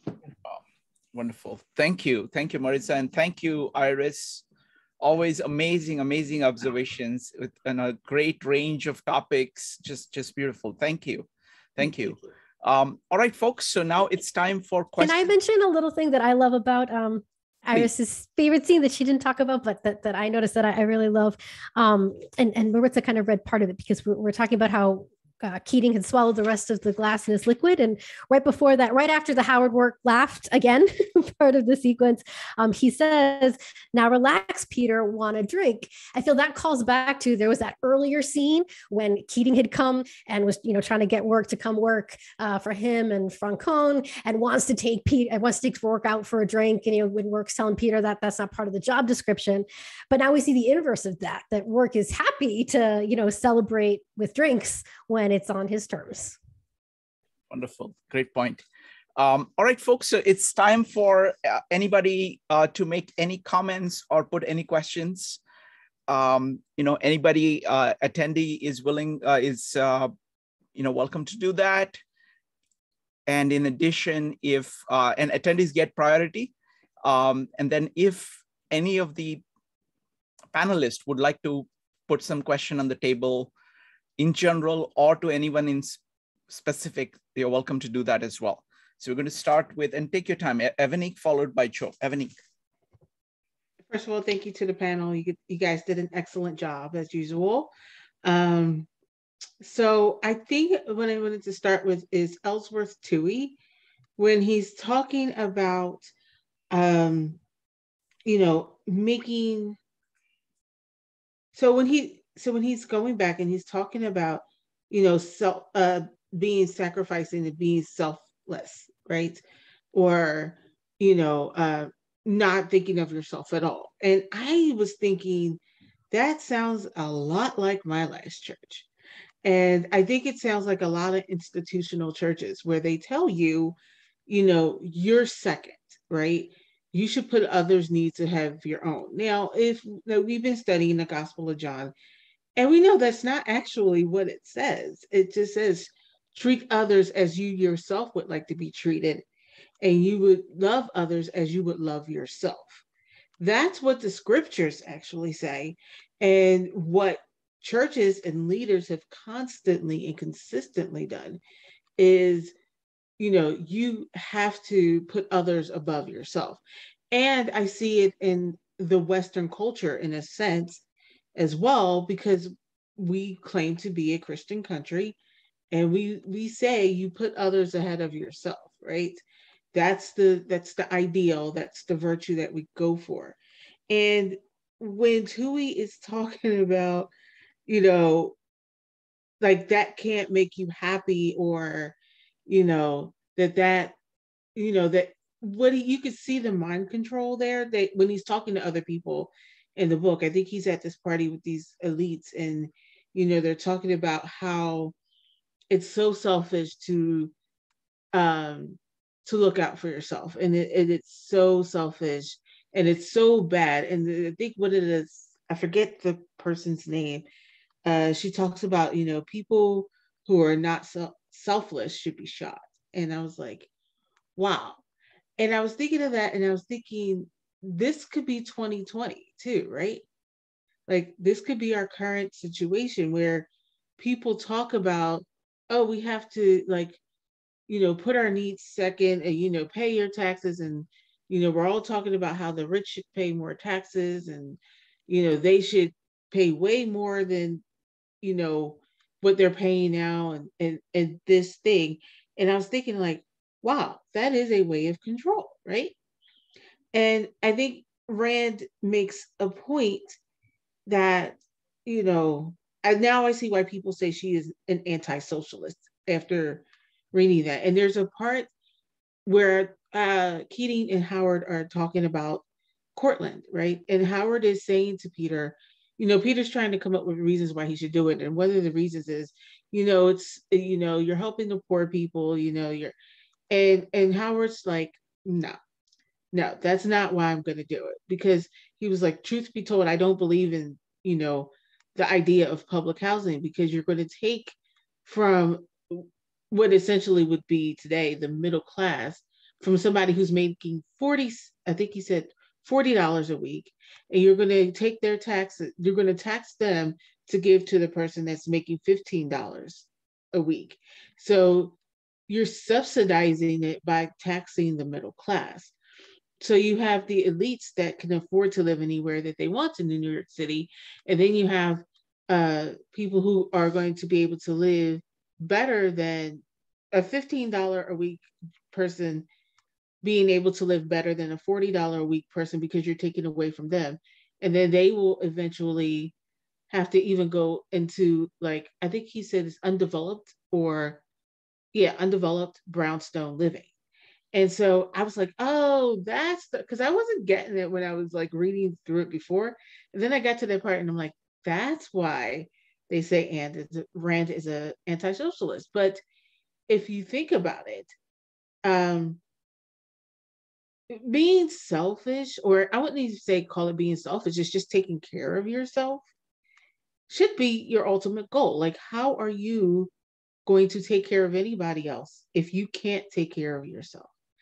What good are you going to be to someone else if you are suffering?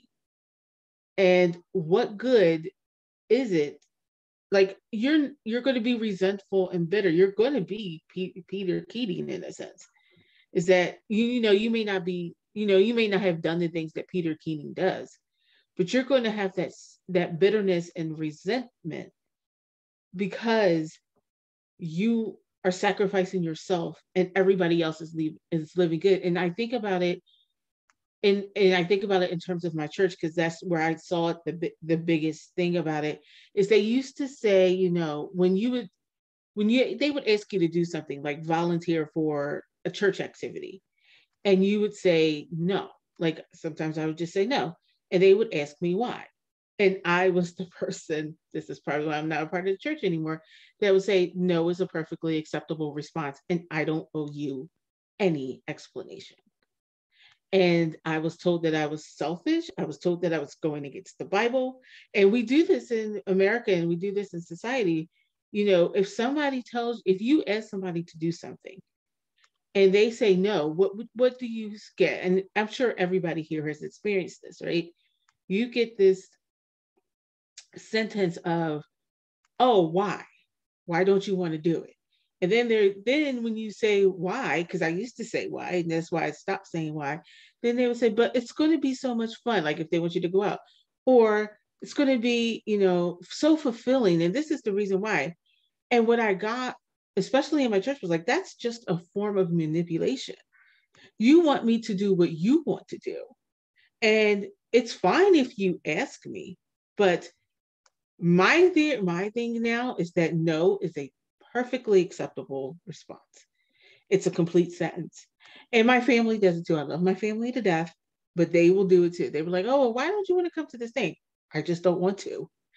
like, I don't owe you an explanation. No, you know, before I would try to come up with a, a, good excuse that way they could get off my back. And now I'm like, I just don't want to. I don't want to drive to, I don't want to drive to wherever you are. You know, I don't really know this person like that. Like it, it's, but I think as Americans, we have been trained to almost manipulate each other like that. Like to when someone says to us, no, I can't do it, or no, I don't want to do it, we've almost been trained to manipulate each other and say, well, it's going to be really a lot of fun, or, you know, well, it's going to be great, or this is the reason why you want to do this. And I don't understand. Look, this is what I see with Toohey. Toohey doesn't I see this in Toohey in that he's the greatest manipulator in this book. And that he can A, convince people that it's their own idea. Um, B, he can talk you into doing anything, and making you think it's for your own good. But the thing that I thought was uh was most telling of Toohey when he really confessed it is when he was with the police officer on the street and he said he said basically, you know, you should arrest me. And the police officer laughs him off. He's so unassuming. Um, and then when Peter Keating is with him and he's laying down, and Peter Keating really sees how frail he is because he sees the ankle with the pajama pants and the slipper.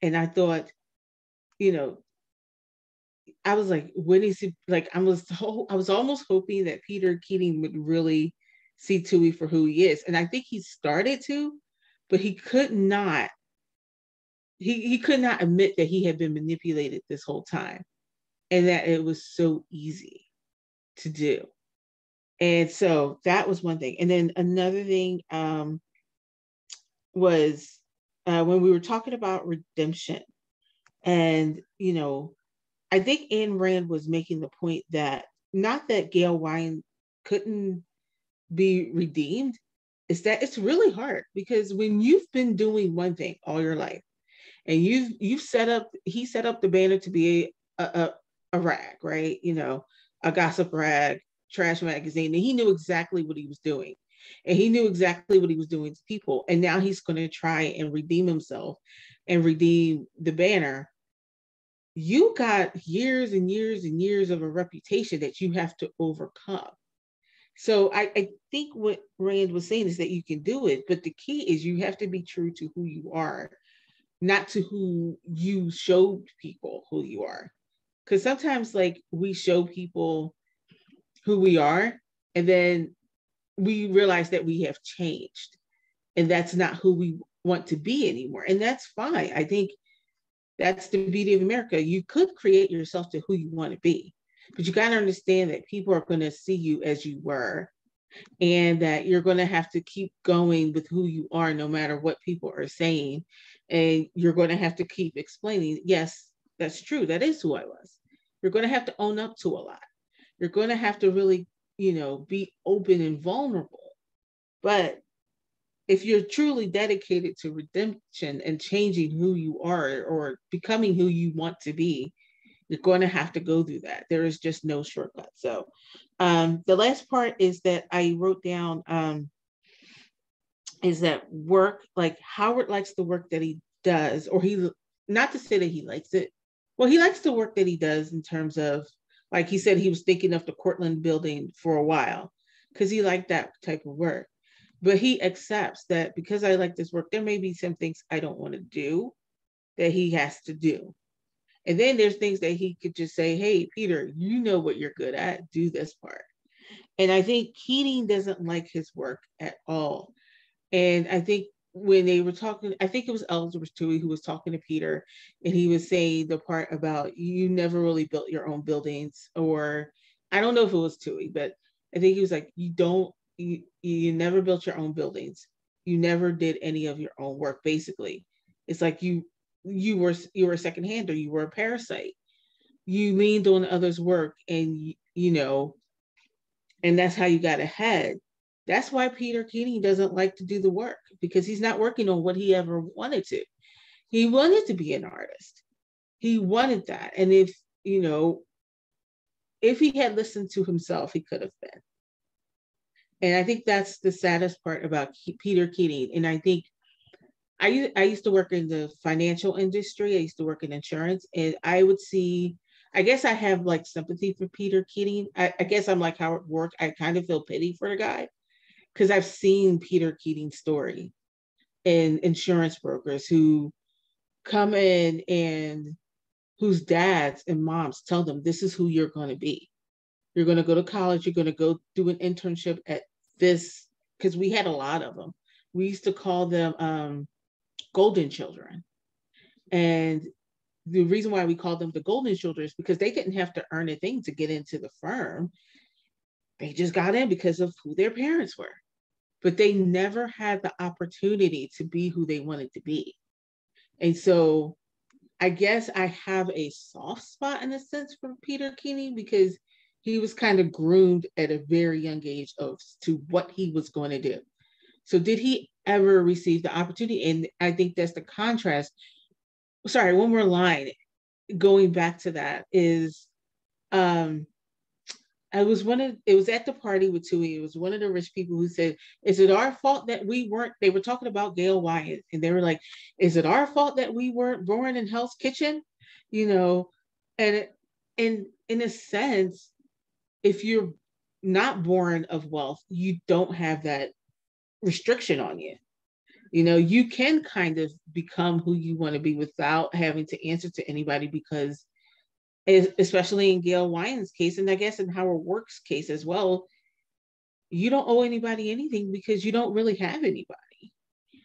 so you can kind of become who you want to be. And these people who are born rich, even though it sounds like a privileged statement, in a sense, you get the sense that they're kind of bitter about it. They're kind of locked in. They're, they they can't really self-realize who they want to be, even though they have all the money and all the they don't have the ability to decide. They were never raised that way. So that's what I got out of it. But thank you, everyone. Wonderful. Evanique, that, that's amazing set of comments. And I it's really amazing. You know, it's like this is a book that I'm intimately familiar with. So it is really wonderful to see you discover some of these themes on your own. So really appreciate that. And it's like the way in which you come at it is very authentic and it is based on your own experience. So it's just wonderful. Thank you. Thank you so much. Uh, next up is going to be Joe, followed by Maritza. Joe. Yeah, I mean, it was a great presentation by the panelists again. Uh, I really enjoyed everybody's uh, contributions. I missed Rob's, unfortunately. I was running a little bit late, but um, I'm sure it was excellent. Um, you know, one of the, I think one of the most interesting things for me uh, is some of the points that actually Rupali had hit on uh, with this idea of dogmatic thinking uh, and having a growth mindset uh, and how that sticks out uh, mostly. I, I, imagine it's in chapter 11. Uh, so essentially where they, um, uh, you know, they talk about the deadliness of second-handers. Uh, and essentially the the concern that they have no they have no concerns for ideas, facts, or work and the idea that they i think Roark says it's opinion without a rational process at one point you know uh, essentially is what a person is without an ego. And that's a very important thing is that when you don't have a rational process you can kind of see the process of becoming the inverted self in that in that process. Because if you're you have this belief of the world this dogmatic thinking and this is the way you're going to view the world that leads to a form of confirmation bias so then what is confirmation bias confirmation bias by nature is irrational because you're actually seeking for what you only believe in that process. So when you go out and that's how you're seeking for looking for the world, and and actually uh, Rupali used this as one of her student uh, for one of her students as well. Um, uh, one of the uh, what was the first picture you held up is the idea of seeking truth, and then when you stop seeking truth, then you're really not intentional anymore. You're no longer you're no longer moving and You may it may be intentional, but it's someone else's intentions um, because you actually have a fixed mindset on how the world looks to you. So I think that that's really a practical way of looking at this because in there it has a lot of effects to how you look at you do job, how you look at medicine, how do you look at law, how do you look at these other areas, and it has consequences because then what? How where's the creative process go? there is no creative process. So when you when you start to um, uh, take this you know take this irrational approach, having opinions without a rational without a rational way of thinking, that it kind of turns you in on yourself and allows you to just unfortunately uh, no longer uh, um, you know no longer seek for what you who you are or what you truly want to do and how you want to act in the world uh, so um, yeah, and dogmatic thinking, I feel like actually does that. It takes the ability to really um, to find yourself in in this world, like kind of and uh, and you only have one way of looking at it, and it's completely relaxed, rational thinking. Anyway, that's one of the main thoughts, takeaways that I had from this part. Thank you, thank you, Joe. Next up is Maritza. Um, so a few things. Uh, I the the first um so on some of the things that Evanique said came to mind for me. You know, you were talking about the um the church you no longer go to. So I am a product of Catholic school upbringing, and uh, I used to think that I was quite facetious. I always have delusions that I'm like far funnier than I actually am. So um, I I used to amuse myself by telling people, um, I would love to believe in God, but I have thoughts, and um, everyone always looked at me all kinds of weird, and you know I used to just chuckle and keep on going, like I hadn't realized that I was awkward. Um, but the so you know I'm a little older now. I, I I probably don't say that as often, but the but I understand more what I was saying and why I was saying that. And um, I feel like what Avanique described is kind of what, what I was thinking and feeling is that I found myself in an environment where uh, it was not okay to question the, um, and, and Joe was just touching upon this also, that it becomes dogmatic. You know, they want you to believe in these things um, blindly without questioning. And, you know, I, I am, I am that precocious child that, you know, you get sick of hearing the million and four whys. I will say that I am the super cool aunt because I have never gotten a why thrown at me amongst my 22 nieces and nephews that I did not answer. And my youngest niece right now is 19. But I I was the one that their mom would call and go, she has questions because I never met a why that I didn't talk through with them because I just that just because to me I never understood it. But I digress. The you know this you know so that the idea of blind faith in anything, I see that threaded throughout the caution that that Ayn Rand is showing us here as she's feeding us her philosophy woven into this story. It's the you know it, it's because you're not thinking. It's it's again if you're accepting everything that the church tells you just because it's the church and you're giving them this you know blanket authority or even giving them um the uh or or even giving them like you know you're giving them the absolute authority that's just that's no good and it it um it reminds me of you know the the quote that i said a bunch of times and yes guys i am shamelessly going to say it one more time to suspend consciousness is to stop life right? And so if we're so and and the and the sentence that precedes that rob had read to us too and it's the when you suspend your faculty of independent judgment you suspend consciousness. If you're not questioning all these things that are fed to you well you're not in you're not exercising your independent judgment.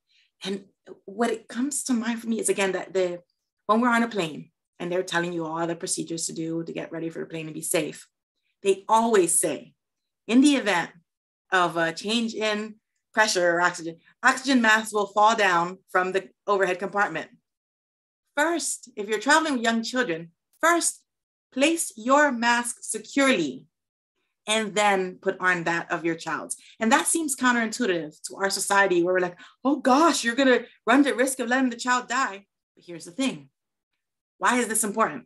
Because if you pass out, the child is surely dead because you are the caretaker for the child. So, what must one do when one has a responsibility so imminent to another?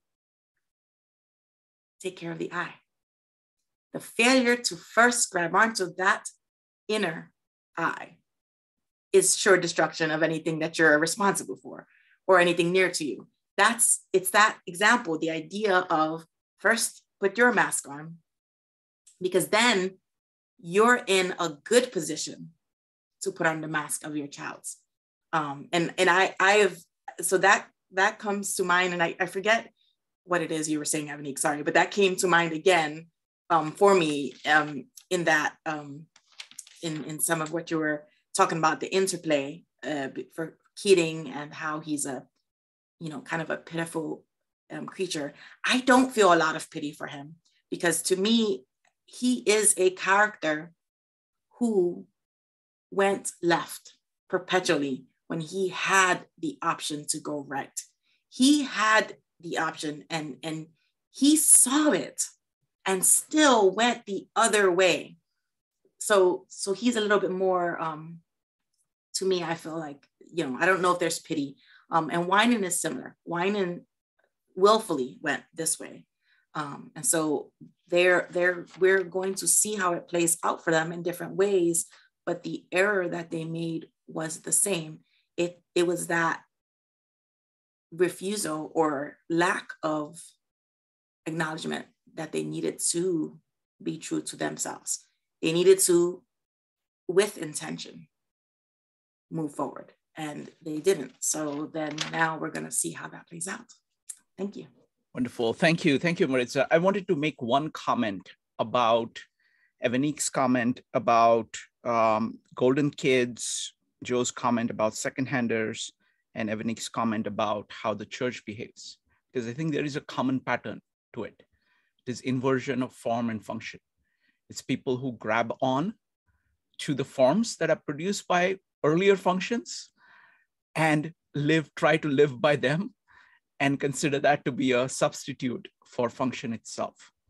Like wealth and this is not just you know golden kids this time there's like this entire gilded age where people there are people who actually produce the wealth and then there were people who were who inherited that health uh, wealth um, so it is all about that and you're trying to hold on to that and use that it gives you the forms actually were living forms when they are produced it gives you a great deal of benefit to have those forms. But if you just had those forms and try to hold on to them, you will just lose them. You'll lose them and you will lose everything uh, in, in you.